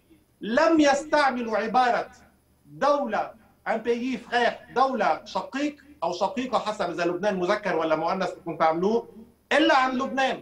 مع إنه ألمانيا يمكن هي شقيقة أكثر من ناحية الدين والعادات والتقاليد وأوروبا وإلى ما هنالك أو إيطاليا أو إسبانيا أو. مع ألمانيا. فبموضوع مثل الشقيق اللبناني والسوري مع, مع نفس الحساب بس بس مع الخارجية بس وزير بهمنا نسمع الخارجية السبب لودغيون الداخلي. استعملها بقلب السنة أيوه. واستعملها بكل المؤتمرات سبب تاريخي الصحفية وسبب بيقول داخلي. ال- لبنان آه، دولة شقيق أو شقيقة لا لفرنسا. نعم، مش نعم. موجودة لأي دولة ثانية هذه نعم. وشو السبب الداخلي؟ تقول هناك سبب تاريخي وسبب داخلي. السبب الداخلي إنه الرئيس ماكرون آه، محشور بنوعا ما خليني أقول بده يحقق إنجاز لأنه ما عنده إنجازات داخلية تقريبا بفرنسا. إجت الجيلي جون ضربته إجت نعم. الكورونا فيروس آه، ضربته آه، على المستوى الدولي ما حقق شيء. في هالموضوع اللبناني قصه قصة لبنان. فمضطر يركض ويحقق شيء آه، بموضوع ال international الموضوع الدولي منشان يحطوا بال bilan تبعه ال bilan يعني. قبل قبل الانتخابات الرئاسية الفرنسية. منشان يت- بس يتقدم يكون إنه عمل شيء. حتى يعني الخارج حساباته انتخابية. طيب شكرا أستاذ تمام نور الدين لوجودك معنا من فرنسا وأنت الخبير في الشؤون الأوروبية. شكرا لك. أهلا. يعطيك العافية. مشاهدينا نستكمل بدبلوماسية بعد البريك مع دكتور حبيب فياض والنائب أسعد درغام خليكن معنا.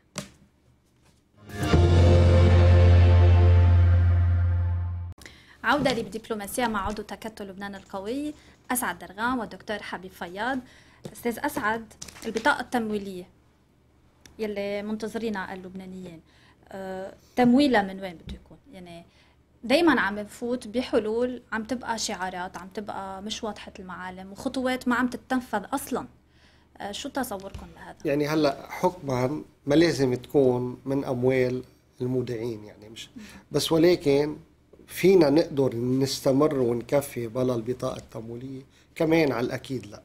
بقى بدنا يعني بده ينبحث من قبل الحكومة حتى الحكومة المستقيلة اللي ما عم بتقوم بأبسط الأدوار لها أنا بعتقد أنه حكومة الرئيس دياب والرئيس دياب كتير مقصرين بمواجهة التحديات اللي عم نواجهها اليوم.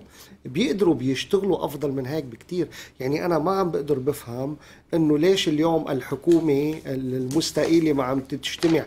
أنه معقولة كل هالظروف اللي عم نمرق فيها ما بتقدر تجتمع بس لتقدر تخفف الزلمة الناس. زعلان وماخذ على خاطر إيه إنه ما انه إنه لا ما لازم يزعل أنا برأيي. يعني أنا لو مسؤول بالدولة يعني هلأ عندي أي منصب ما بشوف شيء قدامي غير وجع الناس. طبيعي. طيب بس وقت اللي بتفكيره هو حسان دياب تيجي أنت.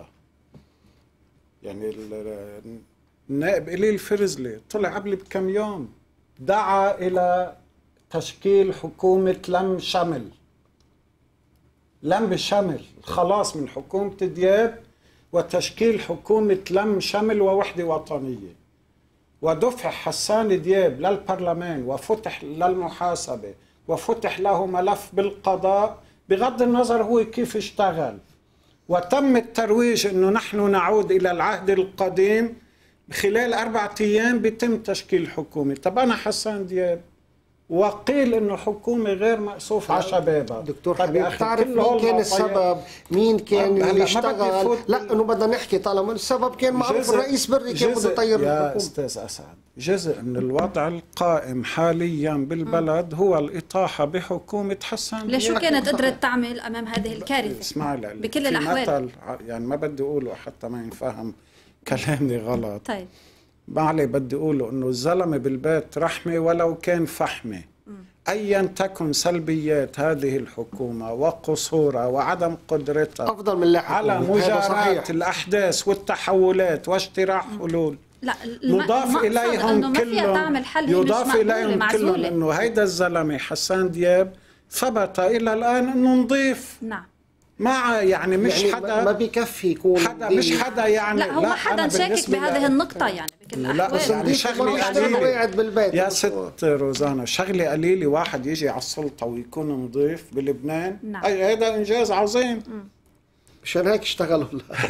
فافترضني أنا هلأ حسان دياب يا أخي ما أنت امبارح نازل فيي جلد جلد جلد. أنا لو مكانه بتخلى عن كل هاي الرواسب وبروح ل إيه بس كمان ما فيه ياخذ. مواقف يعني, اليوم وطنية التحديات آه، والمسؤوليات لازم؟ يشتغل لا لك كيف هو عم بيفكر هو عم بيفكر إنه في فرص هو لم يتحينها؟ عندما وضع كل بيضه كل بيضه بسلة ثمانية آذار وبلحظة معينة ثمانية آذار هي وحلفاء انقلبوا عليه فبحسابات الخسارة والربح هو اللي عاد طائفته من الأفضل له أن يقوم بانسحاب تكتيكي ويعود يتموضع داخل الطائفة ضمن. ضمن حسابات هاي نادي شو بيسموه الرؤساء نادي رؤساء. الحكومة. إيه بس اليوم اليوم حتى الطائفة السنية الكريمة ما حدا منا بيقبل بالوضع اللي نحن عايشينه اليوم يعني نحن اليوم طالما هو ما بالنتيجة في هو كمان في مكون أساسي من الشعب اللبناني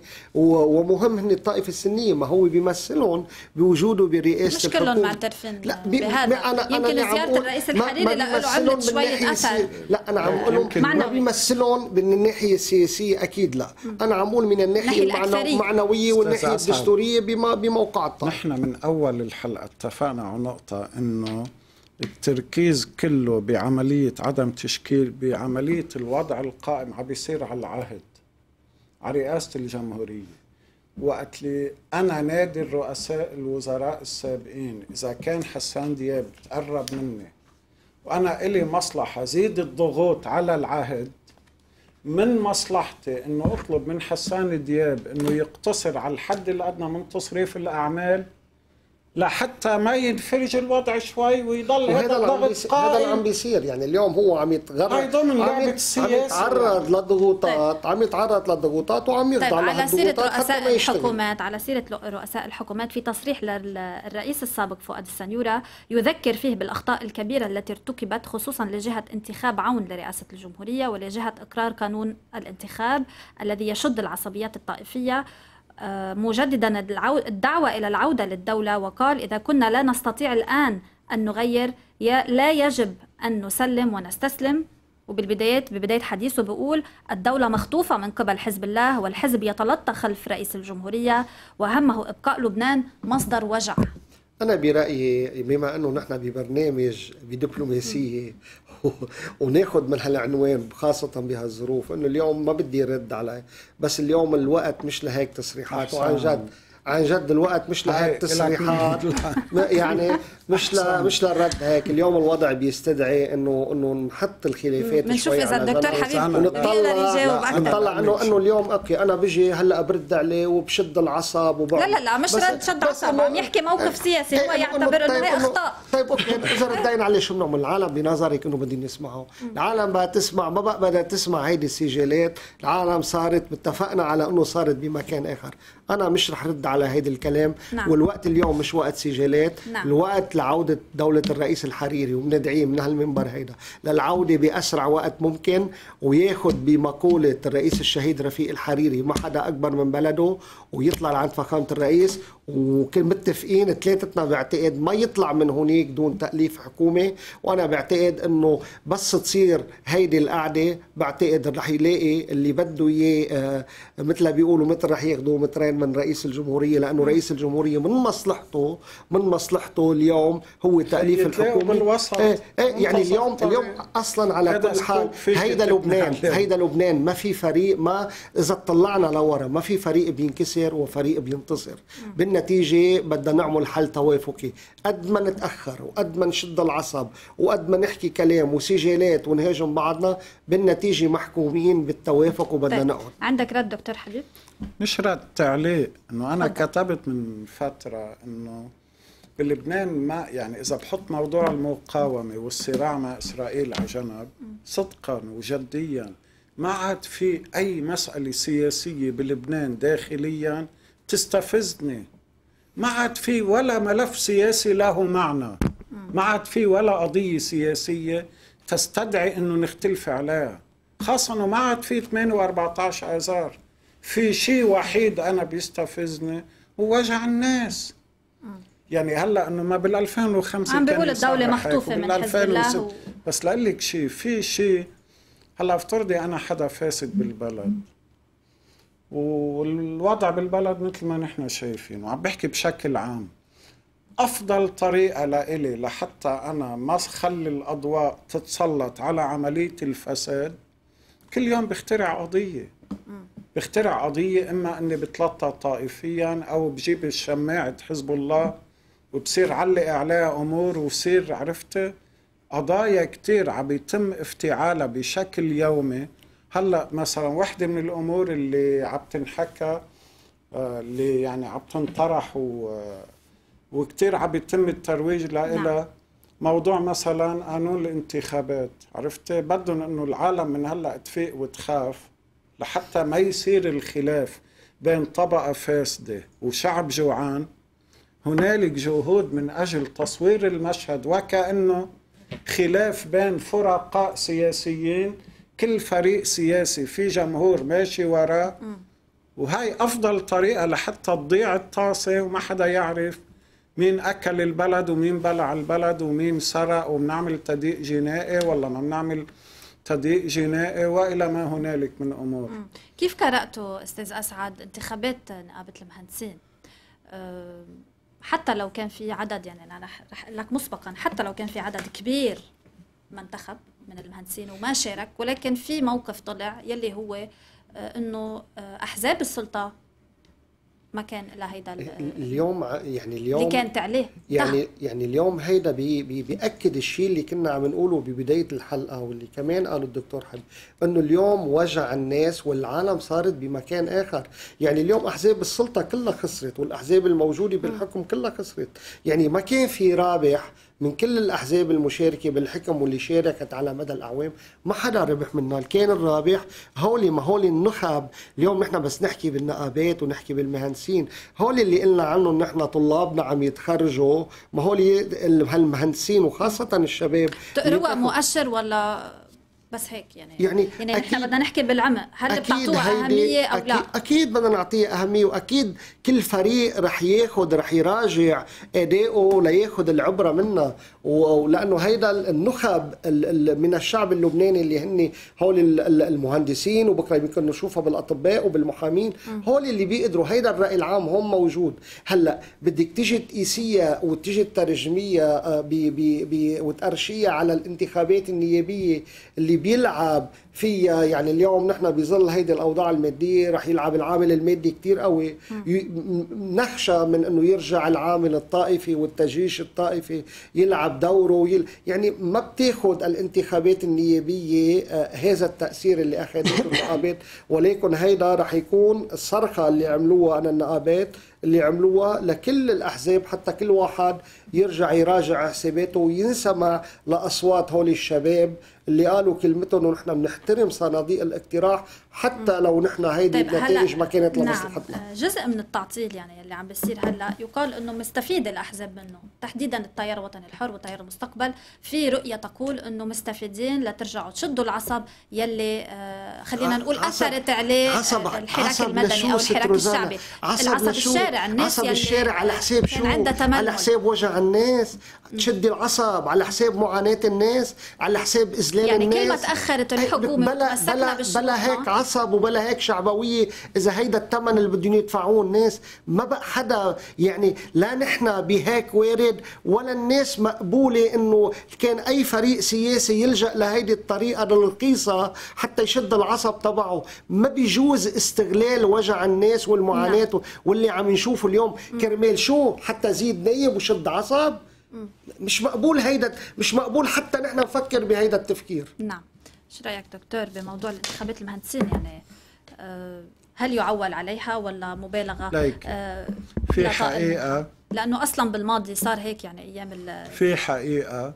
يجب أن ما تأثرت النيابه حقيقة يجب أن تتعامل مع كافة الأحزاب الموجودة على الساحة اللبنانية كمعطى أساسي للعملية الانتخابية اللي ممكن تصير أو مستبعد أنه تصير نعم. سنة الجاي ألا وهي مستبعد؟ أنه إيه ألا وهي بس ما تنط عنا. هلأ نرجع لها. إنه معظم الأحزاب على الساحة اللبنانية شعبيتها تآكلت مش بس تراجعت. شعبيتها تاكلت من بين حزب الله؟ لا حزب الله يعني هلا. هلا بيتهموني. أنا ما خصني عم بسأل سؤال سؤال يعني. روزانا إيه. يعني وين الكاميرا لحتى أبين إني صادق باللي عم. بقوله معك- إنه معك. معك هلا. صادق باللي بتتمناه. بس على لا الأرض صادق باللي عم بقوله بمعنى إنه مش عم بحاول برر لحزب الله. نعم واضح نعم. بس أنا ابن هالبيئة وبعرف اللي ماشيين مع حزب الله عم بحكي الكتلة الصلبة. نعم. اللي هن بيئه المقاومة. ماشيين مع حزب الله لسببين. السبب الأول له علاقة بالصراع مع إسرائيل وبيعتبروا التهديد الإسرائيلي تهديد وجودي السبب الثاني هو سبب عقائدي ديني مرتبط بمسألة عمرها 1400 سنة. يعني جمهور حزب الله اللي هن كتلة صلبة. النواب إيه ما بيعتبروا إنه هن مع حزب الله لأنه حزب الله بده يأمن لهم. عرفت؟ اكل وشرب. بل بيعتبروا إنه واجبهم هن يقدموا. هن شو بيعتبروا؟ إنه حزب الله قدم شهداء فما مشكلة نحن إنه نتحمل جوع و فمساقبة إنه علاقة جمهور حزب الله بالحزب بنيويا هي عم علاقة تحكي شيء. ايديولوجي صرت يعني. لا ما خارج الح... السياسة ما هو اللبنانيه الحقيقة هيك. إيه. يعني هي الحقيقة هيك. يعني هيدا اللي ابنها استشهد وعم بتقول إنه يا ريت عندي حدا تاني ابعته لحتى يستشهد, يستشهد. هيدا النمط من العلاقة ما عاد متوقف على معطيات لها علاقة بمصالح يومية مرتبطة بالأكل والشرب. طبعا هيدا ما بيعني أنه حزب الله لازم يهمل جمهوره ما يهتم بهالجانب. بس نعم. أنا عم بقول الرابط الأساسي اللي بيربط جمهور الحزب بالحزب هو هيك. بس هاي ما بيعني إنه ما. في. ما بيمنع نقول إنه والله في نقد عند بعض الجمهور إنه والله في تذمر بمكان ما في اعتراض بمكان ما بس بالعملية الانتخابية يعني السقف اللي بيمارسه حدا معترض على الوضع إنه بيكتب تويت إنه بيحكي إنه بسهرة بيعبر عن استيائه بس بنهاية الأمر إذا أراد الحزب شيئا جمهوره معه يعني؟ أنا بحترم بحترم هيدي عن قناعه صدق حزب الله وهيدا ال ال يعني التآلف اللي اللي بي اللي بيوصل لحالة من الاندماج بين البيئة ال- الضيقة وبين حزب الله، ولكن من أحد الأسباب المهمة اللي اختلفنا فيها نحن وحزب الله بال ب- بكيفية مقاربة الملفات الداخلية وكيفية بناء الدولة هو لربما اهتمام حزب الله بال بال بالملفات الإقليمية وبالبعد الإقليمي له ويعني نسي آه وصار في إنه ما اعتنى بالملف اللبناني وبكيفية إنه ننظر للوضع الداخلي اللبناني، وأنا بعتقد حزب الله لو أعطى الوقت الكافي والاهتمام الكافي آه للملفات الداخلية بلبنان كان الوضع بلبنان كنا أفضل بكثير وخاصة بكيفية بناء الدولة أنا بقدر أنا بفهمك دكتور حبيب إنه من المقدسات عند الثنائي الشيعي من المقدسات أنا مش معترض على إيه، كلامك. إيه، يعني- إيه، وأنا من من المقدسات إنه ما يصير في خلاف شيعي شيعي ولا نحن بدنا يكون في هيدا الخلاف لأنه أي خلاف بين أي مكون لبناني هيدا بيضعف لبنان ككل ولكن أنا بدي أقول لك إنه نحن كنا نقول وما نقول إنه الرئيس بري عم يكون خط الدفاع الأول عن هالمنظومة أنا بعرف عند الرئيس بري الخيري عنده نموذج نموذج كتير مهم من الأشخاص اللي فيك تحطهم بالمراكز. أنا بذكر لك عند أخته للرئيس بري الدكتورة هنادي بري بتصلح لتكون هي مديرة عامة بوزارة التربية بتصلح تكون يعني يؤتمن لها تكون وزير التربية وعنده الوزيرة عنايه عز الدين وعنده من النواب فادي يعني بقدر برأيي لك. لا على أنا بقدر سيرة لك بس ولكن. هيدا ما بيكفي إذا ما كان في قرار. أنا بعتقد الرئيس بري مقيد ب- بهالأشخاص الموجودين بالإدارة واللي للأسف إنه ما بيقدروا بيطلع منهم. لهالسبب هيدا بده قرار بده قرار من هي المنظومة ليطلع. نائب قاسم هاشم يقول لك أو يعني رد على اللي كنا عم نحكيه بالحلقة. أمر غير منطقي أن يتمثل التيار بالحكومة ولا يمنحها الثقة حتى ولو قيل أن التمثيل سيكون لفخامة الرئيس فالأمر سيان. وقالها فخامته منذ فترة أنه يمثل أو يتمثل بأكبر كتلة نيابية وهذا ما يميزه عن عهد ميشيل سليمان وما أثاره في حيث في حيثية حول حجم تمثيله. موضوع البطاقة التمويلية يقول أنه بني على فرضيات أرقاما وتمويلا وحتى اليوم صحيح أن البنك الدولي مرن لكن لم يحسم قراره بتحويل بعض القروض وقد يكون بشروط مختلفة. الحكومة ضمنت مشروع البطاقة فتح اعتماد لتمويل البطاقة وهذا يعني أن ذلك سيكون من الاحتياطي الإلزامي أي التمويل من أموال المودعين ومن أموال الناس حتى لو كانت التغطية استدانة الدولة من مصرف لبنان.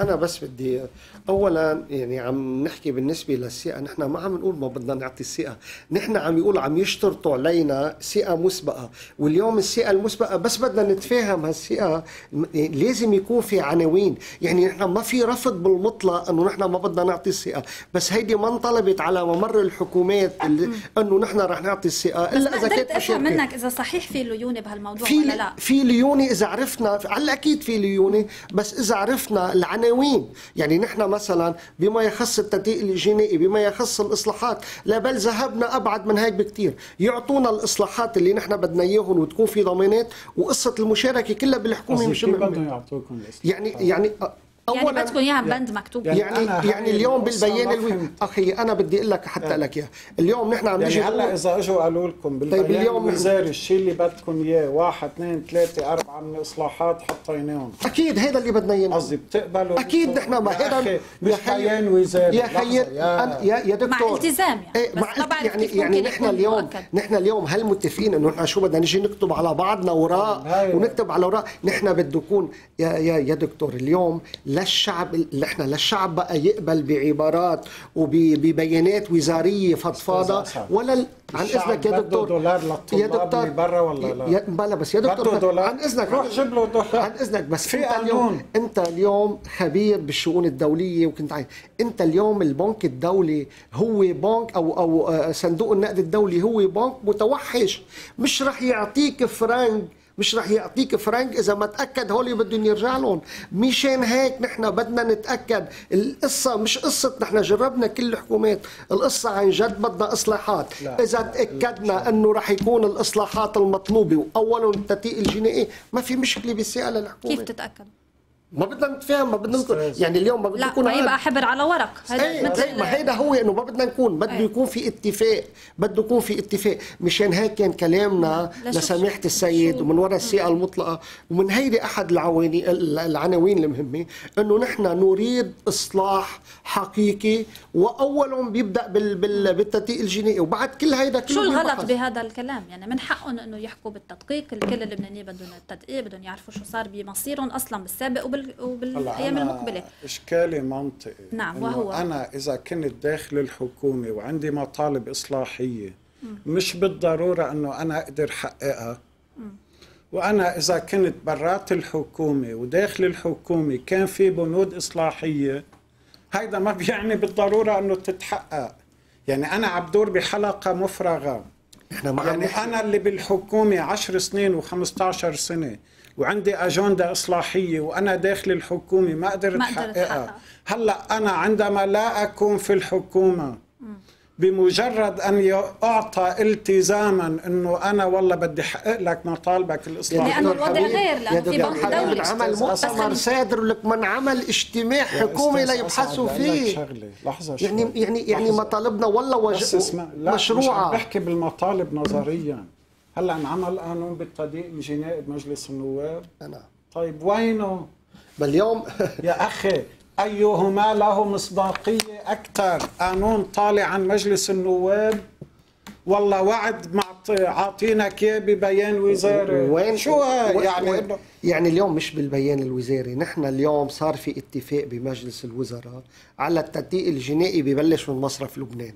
الخوف الكبير اللي صار بمجلس النواب وهيدا إنه اليوم بالتوازي. بتعرف دكتور حبيب إذا بدك تعمل التدقيق الجنائي لا لا بت... بس عن إذنك لا لا تقبل يا خي بالتوازي. يا خي اليوم بالتوازي صارت هيدي بال... بالآخر لا هاي لغه إيه هي ما هيدا اللي عامل لك إيه؟ ما هيدا اللغم اللي صار. إنه أنا عامل لك ما عامل لك لغم. وموافقك إنه لغم. أنت معك خبر اليوم إذا بدك تعمله بالتوازي مع 22 وزارة ومع الصناديق ومع البلديات. وابني ما بيلحق ما بيلحق ياخذ النتائج تبع التدقيق الجنائي. يعني نحن بنكون صرنا ب- بعالم آخر. ما هذا هو الخوف. يا دكتور حبيب. أنت بالبرلمان وبتعرف. انعمل قانون إعفاء من ال يعني عدم ال- البنوك ما تطالب الزباين إذا تخلفوا لست أشهر. أنت بتعرف إنه رغم القانون بعدها لهلأ المصارف بتدق. وبترفع شكاوي بالنيابة العامة على زباين تخلفوا عن دفع. ما عندك 73 قانون بمجلس النواب بتنفذوا ما انت نحن بتعرف في ناس هلأ بدهم دولار برا وأنتم عاملين قانون دولار ما عم. يتنفذ. يعني ما إنه ما هو- خلص بلبنان ما عاد يعني. ما هو مش مشكلتنا بالقوانين مشكلتنا وحياتك دكتور بعدم تنفيذ القوانين. صار تفاهم بينكم بين القوات. مش هيك؟ عشو وانعمل وانكتب. وينه؟ يعني نحن تعلمنا شغلة بلبنان. إنه ما عاد الشيء اللي بينكتب على الورق أنا أقدر إني موافقك عليه. دكتور حبيب أنا طيب بس بالمقابل ما في دكتور ما في ضمانه و- يعني لأي موقف عم تطرحه أي طلب. لا هاي في إنه سالبة ياخدوا- بانتفاء الموضوع. okay okay. بس الوضع مختلف. هلأ إذا بدي أنا أعطي يعني هيك بس بدي أعلق شوي إنه في البنك الدولي يمكن أو الوضع عن شغله قال عن. حزب تفضل، الله تفضل. انه إنه ما مزبوط يعني إذا في مجموعة من الأشخاص اللي هن كتير قريبين من الحزب وبيحبوا الحزب ولكنهم يأخذون على الحزب إنه لم يعطي الساحة الداخلية اللبنانية ال- على مستوى الإصلاح يعني كل الجهد المطلوب أنا واحد منهم يعني أنا ما دكتور- بعرف اذا. دكتور حبيب، أنا بدي- أنا بوافقك بهاي النقطة أنا بدي بس لك- بدي أقول لك شغلة الحزب ما خصه بفشل الجهود الإصلاحية. طب أنا يعني بد... مش الحزب. طب أنا بدي أسأل سؤال مشروع. هو هذا عن- الحزب اللي قدر عامل معادلة رع- ردع مع إسرائيل نعم. اللي قدر انتصر على الإرهاب ب... ب... بسوريا اللي عم بيشارك باليمن وعم بيشارك بالعراق اللي عم يقدر يكون بكل الساحات. ما بيقدر يساعد بعملية بناء الدولة ووقف الفساد بلبنان؟ شو ردك دكتور؟ يعني الحزب- سؤال منطقي الحزب بلبنان هو الأقوى عسكريا وجماهيريا ولكنه وتاثيرا. ولكنه ليس الأقوى سياسيا. لا دكتور حبيب. وإذا الحزب أنا- بده يوظف أنا ما بوافق. العسكرية أنا. والجماهيرية بالجانب السياسي بيكون عم يخرج عن وحدة من هو مبادئه هو الأقوى يعني. عسكريا وسياسيا ولكن ما بده يوظف الفكرة ليش. مطلوب من حزب الله أن يا يحل محل الدولة بهول؟ لا لا بقى أنا اللي عم أصعب. طيب أوكي أنا بدي أقول لك اليوم بس نحن قلنا في, في, في اليوم نحن ال- هالطبقه اللي حكمت البلد من سنة التسعين هلأ نحن اللي الانهيار اللي صار اللي صار بلبنان هل أتى من لا شيء اتى نحن اجوا عالم من من تركوا خارج- مات أهل تركوا السلطة. مات أهل السلطة السياسات الاقتصادية السياسات المالية ملفات الفساد ال- ال- الصفقات الصناديق اللي أنت خذ المهجرين. أنا باخذ مجلس آه، الجنوب أنت خذ دكتور حبيب أكيد هو عم بيلمح على تحالفات حزب الله لحتى ما تبقى القصة مبهمة. يعني آه، بهذا الإطار. حزب الله شارك بتحرير حلب نعم. م? إلى جانب الجيش السوري. حزب الله بتحرير حلب استخدم القوة العسكرية شو العلاقة بين قدرة حزب الله على المشاركة بتحرير حلب كيف أنا بقدر جير هاي القوة اللي مرتبطة بالصواريخ والقوة النارية كيف بقدر سيلها وحولها إلى رصيد داخلي بلبنان بقدر من خلاله أنا أضغط باتجاه تحقيق هذا هدف سياسي دكتور ما- حبيب ما في ما أنا بدي أسد؟ أنا يعني ما- أنا بدي أقول له السيد حسن بيعمل؟ السيد حسن قال الفاسد كالعميل. وأنا بصدقه بكلامه مطلق الثقه 100% مش توصل 100% طيب نحن إذا نحن هيدا أو بنعامل العميل كالفاسد أو الفاسد كالعميل. إذا طبقنا هيدي بنحل القصة. ما بنقدر يا دكتور حبيب. ما حزب بنقدر نسكت عن الفساد. إيه، اليوم أنت ما ضروري. ليك أنا بأكد لك بدي. أكد لك. ما. حزب الله ما شارك أنا- بالفساد بمحل. أنا من وحزب باب الله من حزب باب الأمانة هلا آخر الحلقة علت أنا اللي بدي لك إياه هيدا بدي لك مش رأيي بس. أنا مكلف انقل راي حزب الله بأمانة. انت بتعرف انه حزب الله مرة من المرات كان عم يترصد العميل عقل هاشم وما قتله كان تحت مرمى النيران ما ضربه لأنه طالع معه بالسيارة طفل. طفل بيقربه قال حزب الله لا أنا ما ما هي المشكلة عند حزب الله كتر صدقه. لا يعني عقل هاشم عميل. نعم. إيه ما هو مشكلته كتر صدقه. حزب الله في فاسدين دكتور مثل حبيب عمل أنا عم لك أكثر من هيك. مشكلته كتر صدقه ومشكلته انه إنه عنده مبادئ كتير بعد أوقات. لو هالمبادئ بتأذي طب لحد هذه اللحظة ما قدرتوا تتفهموا هذه المحاذير؟ بتفهمينا يعني حكى السيد نصر الله إنه الوزير باسيل أذكى أصلا من إنه يطرح هذا الطرح. طبيعي وأنا نحن ولا يمكن. مش إنه طرح على على نحن ما بينه بدنا وبين أمل نحن يعني. نحن ما بدنا أنا قلت لك.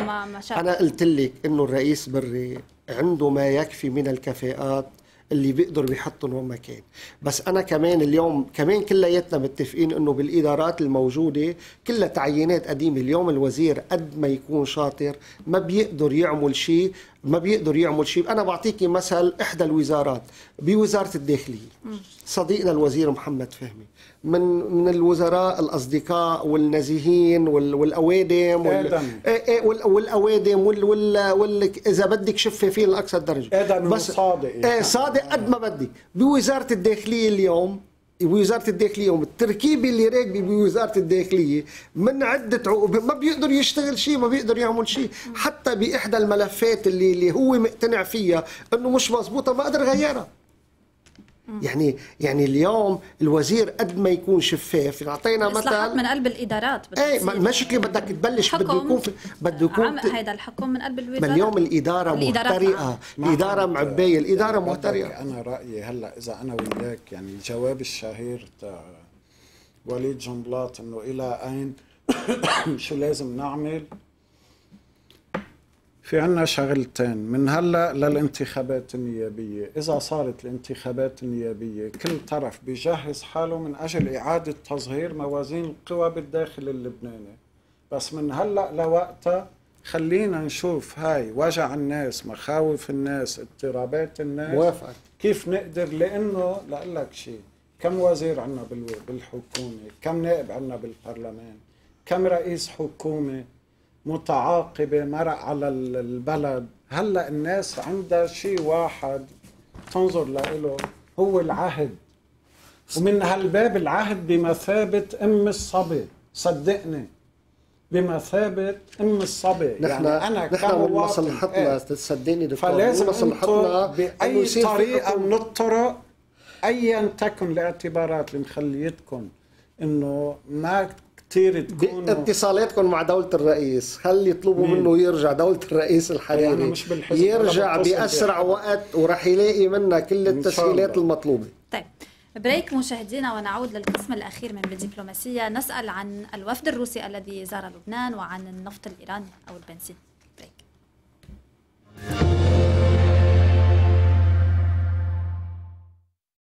عودة لبالدبلوماسية في هذا القسم الأخير مع الدكتور حبيب فياض والنائب أسعد درغام. دكتور حبيب آه، طبعا انحكى عن النفط الإيراني أو البنزين اللي أكدت السفارة استعدادها له عبر التغريدة يلي كانت من يومين.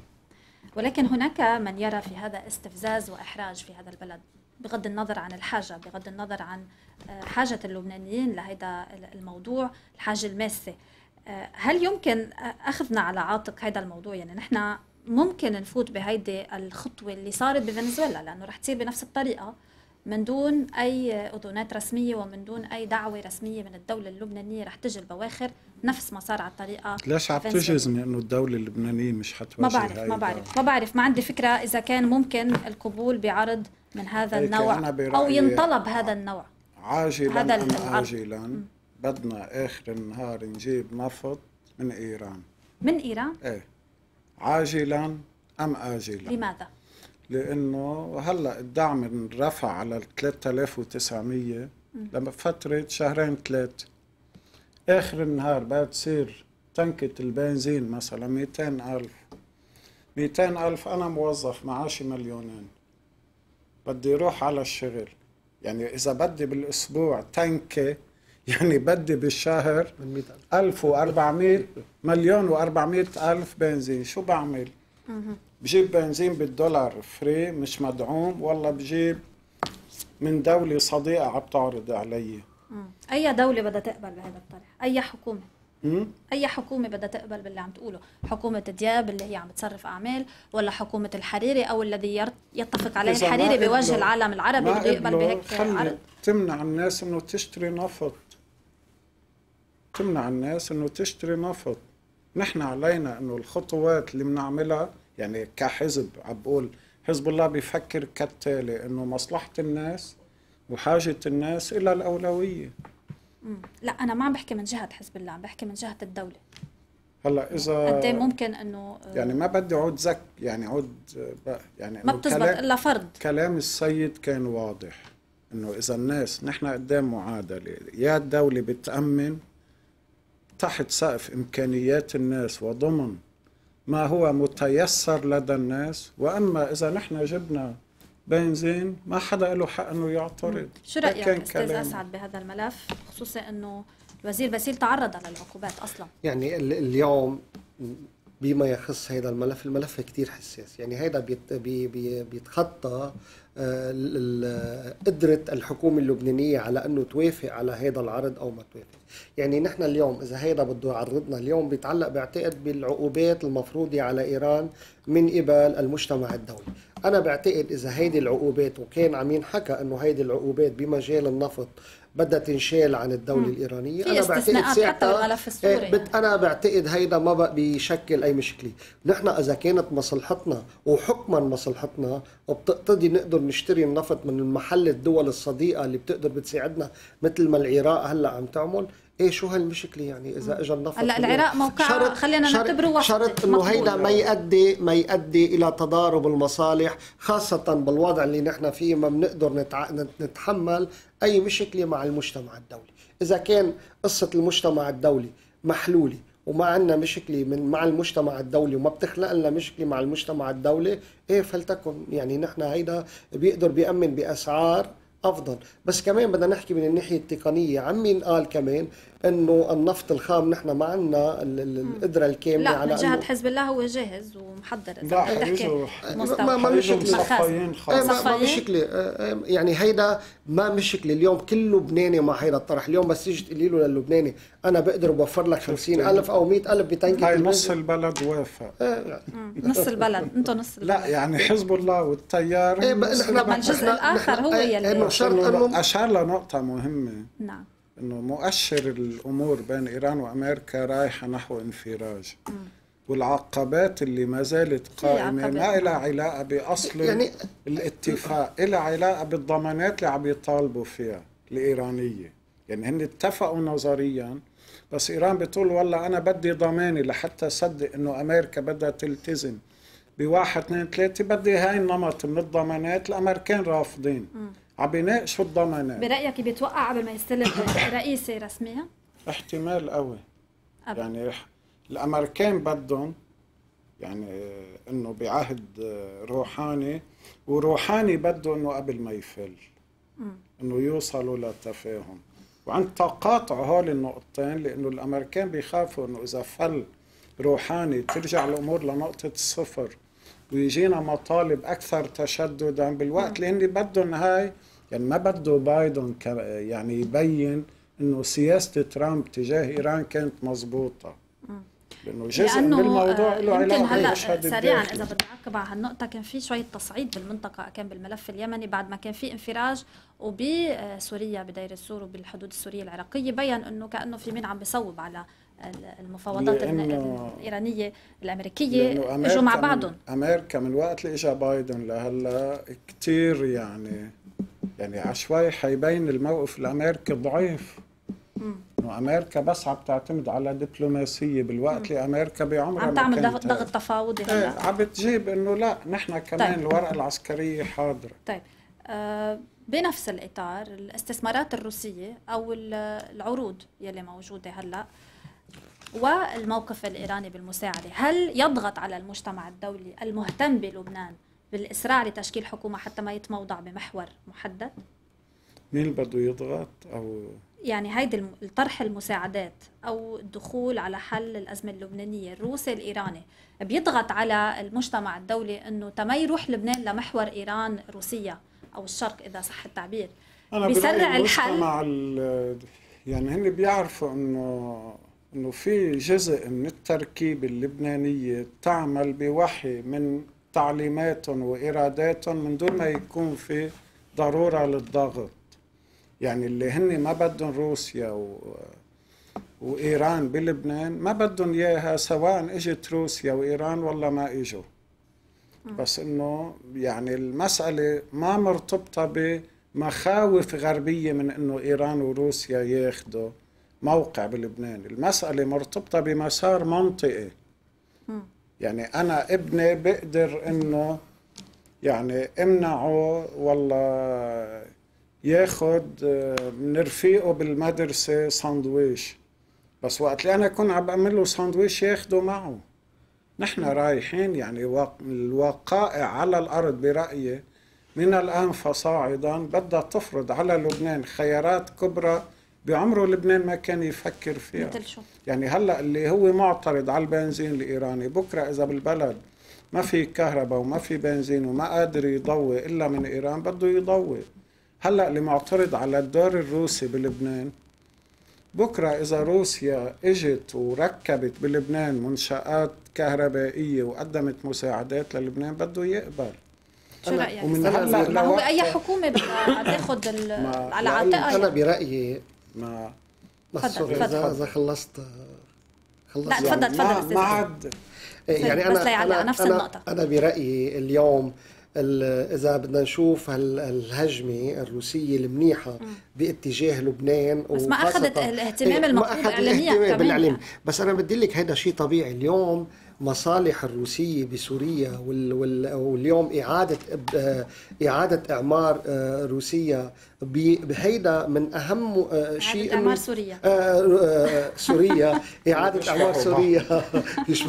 يعني إعادة الإعمار هونيك بيتطلب إنه يكون لبنان بمرحلة وما يكون دخل مرحلة الانهيار ولا يكون في فوضى ولا شيء. وهيدي بتأمن له الخاصرة هيدي اللبنانية تكون تكون محمية. مشان هيك اليوم مصلحة روسية إنه تقدر تستثمر بلبنان ولبنان ما ينهار وتقدر تروح بمجال الاقتصاد والاستثمارات بالمرفأ أو بالنفط وهيدا شيء عامل طبيعي. هلأ اليوم هل بيصير في كيباش أمريكي آه، روسي آه، على إنه مين بده يعني هل هن بدهم ياخذوا محل الدور الأمريكي؟ أنا بعتقد هيدا بيصير بالاتفاق لأنه أي كيباش روسي أمريكي نحن بندفع ثمن هلأ الوفد طبعا اجى بعد بعد القمة اللي صارت بين بايدن وبوتين. أنا بعتقد وإن شاء الله بيصير بالتوافق. يقال إنه انطرح موضوع ما بنتحمل ما بنتحمل هيك كباش بهيك ظروف. ما نحن إذا كانت ظروفنا منيحة ما بنتحمل أي صراع تكون على أراضينا. وبالتالي نتأمل إنه هيدا يكون وليدة اتفاق وتفاهم على الاستثمارات الروسية تكون بلبنان. هيدا بيريح الدولة اللبنانية من جهة وخاصة بمجال البناء المرفأ وإعادة أعمار المرفأ وبمجال النفط والاستثمارات بقطاع النفط. ومن الناحية الثانية بالعدو الناحية الاقتصادية بيقدر بيساعدنا بهالمرحلة وبيساعد على إنه لبنان يكون آه، يعني عامل مساعد بإعادة إعمار سوريا. وهيك بنستفيد نحن وبنكون جسر عبور إلى آه، إلى آه، سوريا بهيدي المرحلة من إعادة الاعمار نعم. دكتور حبيب يعني بالموضوع الروسي والإيراني بس عندي تعليق صغير إنه نحن بعدنا عم نتعامل مع الوضع بلبنان مثل كأنه ما صار لو كنا قبل ثلاث سنين أو أربع سنين. مزبوط إنه بلبنان في حكومات وفي قرارات بس بكثير من الأحيان بنلاقي إنه قرارات الحكومة وإرادة الدولة وهيبة الدولة بمكان ما عم بتغيب مقابل أمور كتير صغيرة. فما بالك أنت إذا كان هنالك بعض الأصوات بالدولة تعارض أمور كتير مطلبية وحيوية ومرتبطة مباشرة مش بمصالح الناس بالهوى اللي عم تتنفسه الناس بوجود الناس بحياة الناس من الطبيعي إنه ساعتها نحط الأمور بين كفتي الميزان ونشوف وين المصلحة أكثر يعني على سبيل المثال إنه إذا هلأ القوات اللبنانية ولا حركة الاستقلال ولا مدري شو عرفتي معترضين إنه أنا جيب بنزين من إيران. طيب. قبل ثلاث سنين كان ممكن أنا أوقف عند هاي الاعتبار وأقول إنه والله ما بد طالما في بنزين ليه بدي جيب ما هو أهين هلأ وقت اللي أنا عم بوقف 24 ساعة على صف البنزين إنه ليه ما بدي جيب يعني هل عملية اختراق هن الدولة في ناس ما بدها تتموضع بهذا المطرح في ناس ما بدها صداقة أصلا مع إيران ح- حتى يعني نحن بمكان ما عم. نحرج عم نحرج الآخر بهيدي الحلول الآخر اللي هو مين؟ القوات اللبنانية أو طيب. غير أو كل اللي, طيب اللي مش شايفين الآخر من إيران مقابل هلا وجع نتيجة. الناس وجوع الناس وهم الناس أنا شو بختار؟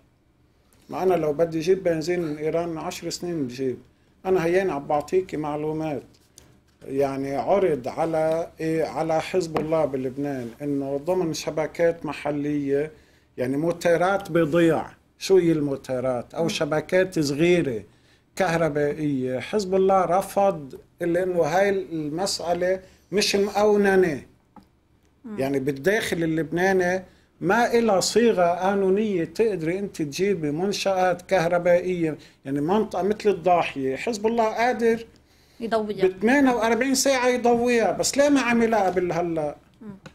ما عملها لأنه بلا شيء هو متهم إنه دولة داخل الدولة. وما عملها لأنه هيدا الشيء بده مسار قانوني لا يقدر يعمله. طيب، بس هلأ أسعد. وقت اللي تكون وضع البلد هيك في اعتبارات ما بيقعد ينوافق. في دول. أخرى بتقدر إنه تساعد بشكل مباشر بس كمان آه، ما عم نشوف هيدي العروض الواضحة. يعني إنه آه، يعني يطرحوا مثل البنزين أو النفط الإيراني آه، أمور أخرى. ستر أسهل شيء ماخدين بالحياة- قرار ما ي- ما ي- اسهل شيء ما. بالحياة إنك تنتقد. هيدا أسهل شيء. بس الأصعب شيء إنك تيجي تقول شو البديل. إنه أنت اليوم شو البديل؟ طيب أوكي. نعم. هي كلياتنا بنقدر بنقول إنه والله هي مشكله طيب شو البديل؟ ما اختلفنا أنا وياك. ما في ما أنت اليوم ثاقبت إيه. إيه. ثاقبت لا، من ما هو- التيار وما اختلفتوا يعني- ثاقبت من التيار وما اختلفتوا لا. ضروري نختلف. لا يعني اليوم حتى يعني. اليوم الاختلاف بوجهات النظر كان. كأن كثير بناء وجيد. بس نحن إنه هيدا القوى حقها إنه يكون تعترض على إنه جيب النفط من هون كذا. طيب هيدي ما أسهل شيء. طيب قدموا لنا البديل. بنيجي بنقول ما بدنا نمول البطاقة التمويلية من هون. طيب البديل. على الأكيد مسلمين كلياتنا بدنا إنارة وبدنا بنزين وبدنا نفط وبدنا كهرباء وبدنا بطاقة تمويلية. طيب أوكي إذا نحن كلياتنا متفقين. طيب إذا أنتم مش موافقين بهالطريقة شو البديل قولوا لنا؟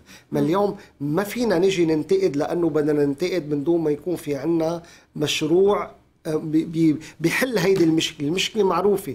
انه نحن ولكن الاهم هو نحن استنباط الحلول لهالمشاكل الموجودة. نعم. أنا بعد معي دقيقة واحدة بس يمكن هذا السؤال بده أكثر بكثير بس دكتور حبيب آه، مشكلة الناس إنه وقت اللي بنقول إنه هلأ هن آه، جاعوا والذل وهذه الأمور. ولكن آه، يعني إذا بدي أحكي عن البنزين تحديدا ما هي كلها كارتلات من السلطة. يعني نحن عم نشكي للسلطة من السلطة. وهيدي المفاهيم يعني إذا بدي أحكي شوية آه، آه، مفاهيم فلسفية حضرتك دكتور بالفلسفة. آه، ذهنية الناس ما عم تتغير ابدا. آه، الشكوى حتى طريقة الشكوى هن بيعرفوا مين اللي عامل فيهم هيك آه، ومين اللي خلينا نقول حاكمهم مسيطر عليهم. عقلية اللبناني إذا ما تغير ما في تغيير. يعني نوقف مع الشعب بس الشعب ما مساعد أهم حاله. سؤال تركتيه للآخر. إيه صح. أهم سؤال وهيدا بده أكثر من الوضع مش هيك. يعني, يعني يعني نحن هلا اللي عم بيصير إنه في تغيرات فردية كاسحة. بس هاي التغيرات الفردية ما بتتمظهر ضمن صورة جماعية. يعني أنت برأيك اللي بيوقف 12 ساعة محطة بنزين وهاي المسألة تكررت جمعة جمعتين ثلاثة. أنت برأيك هيدا اللي أمه مريضة سرطان أو ابنه بعيد من هون وما عم بيلاقي له دواء. انت برأيك هيدا الإنسان اللي معاشه مليون ونص ليرة مليونين ليرة وعنده خمس أولاد وبيته بالأجار.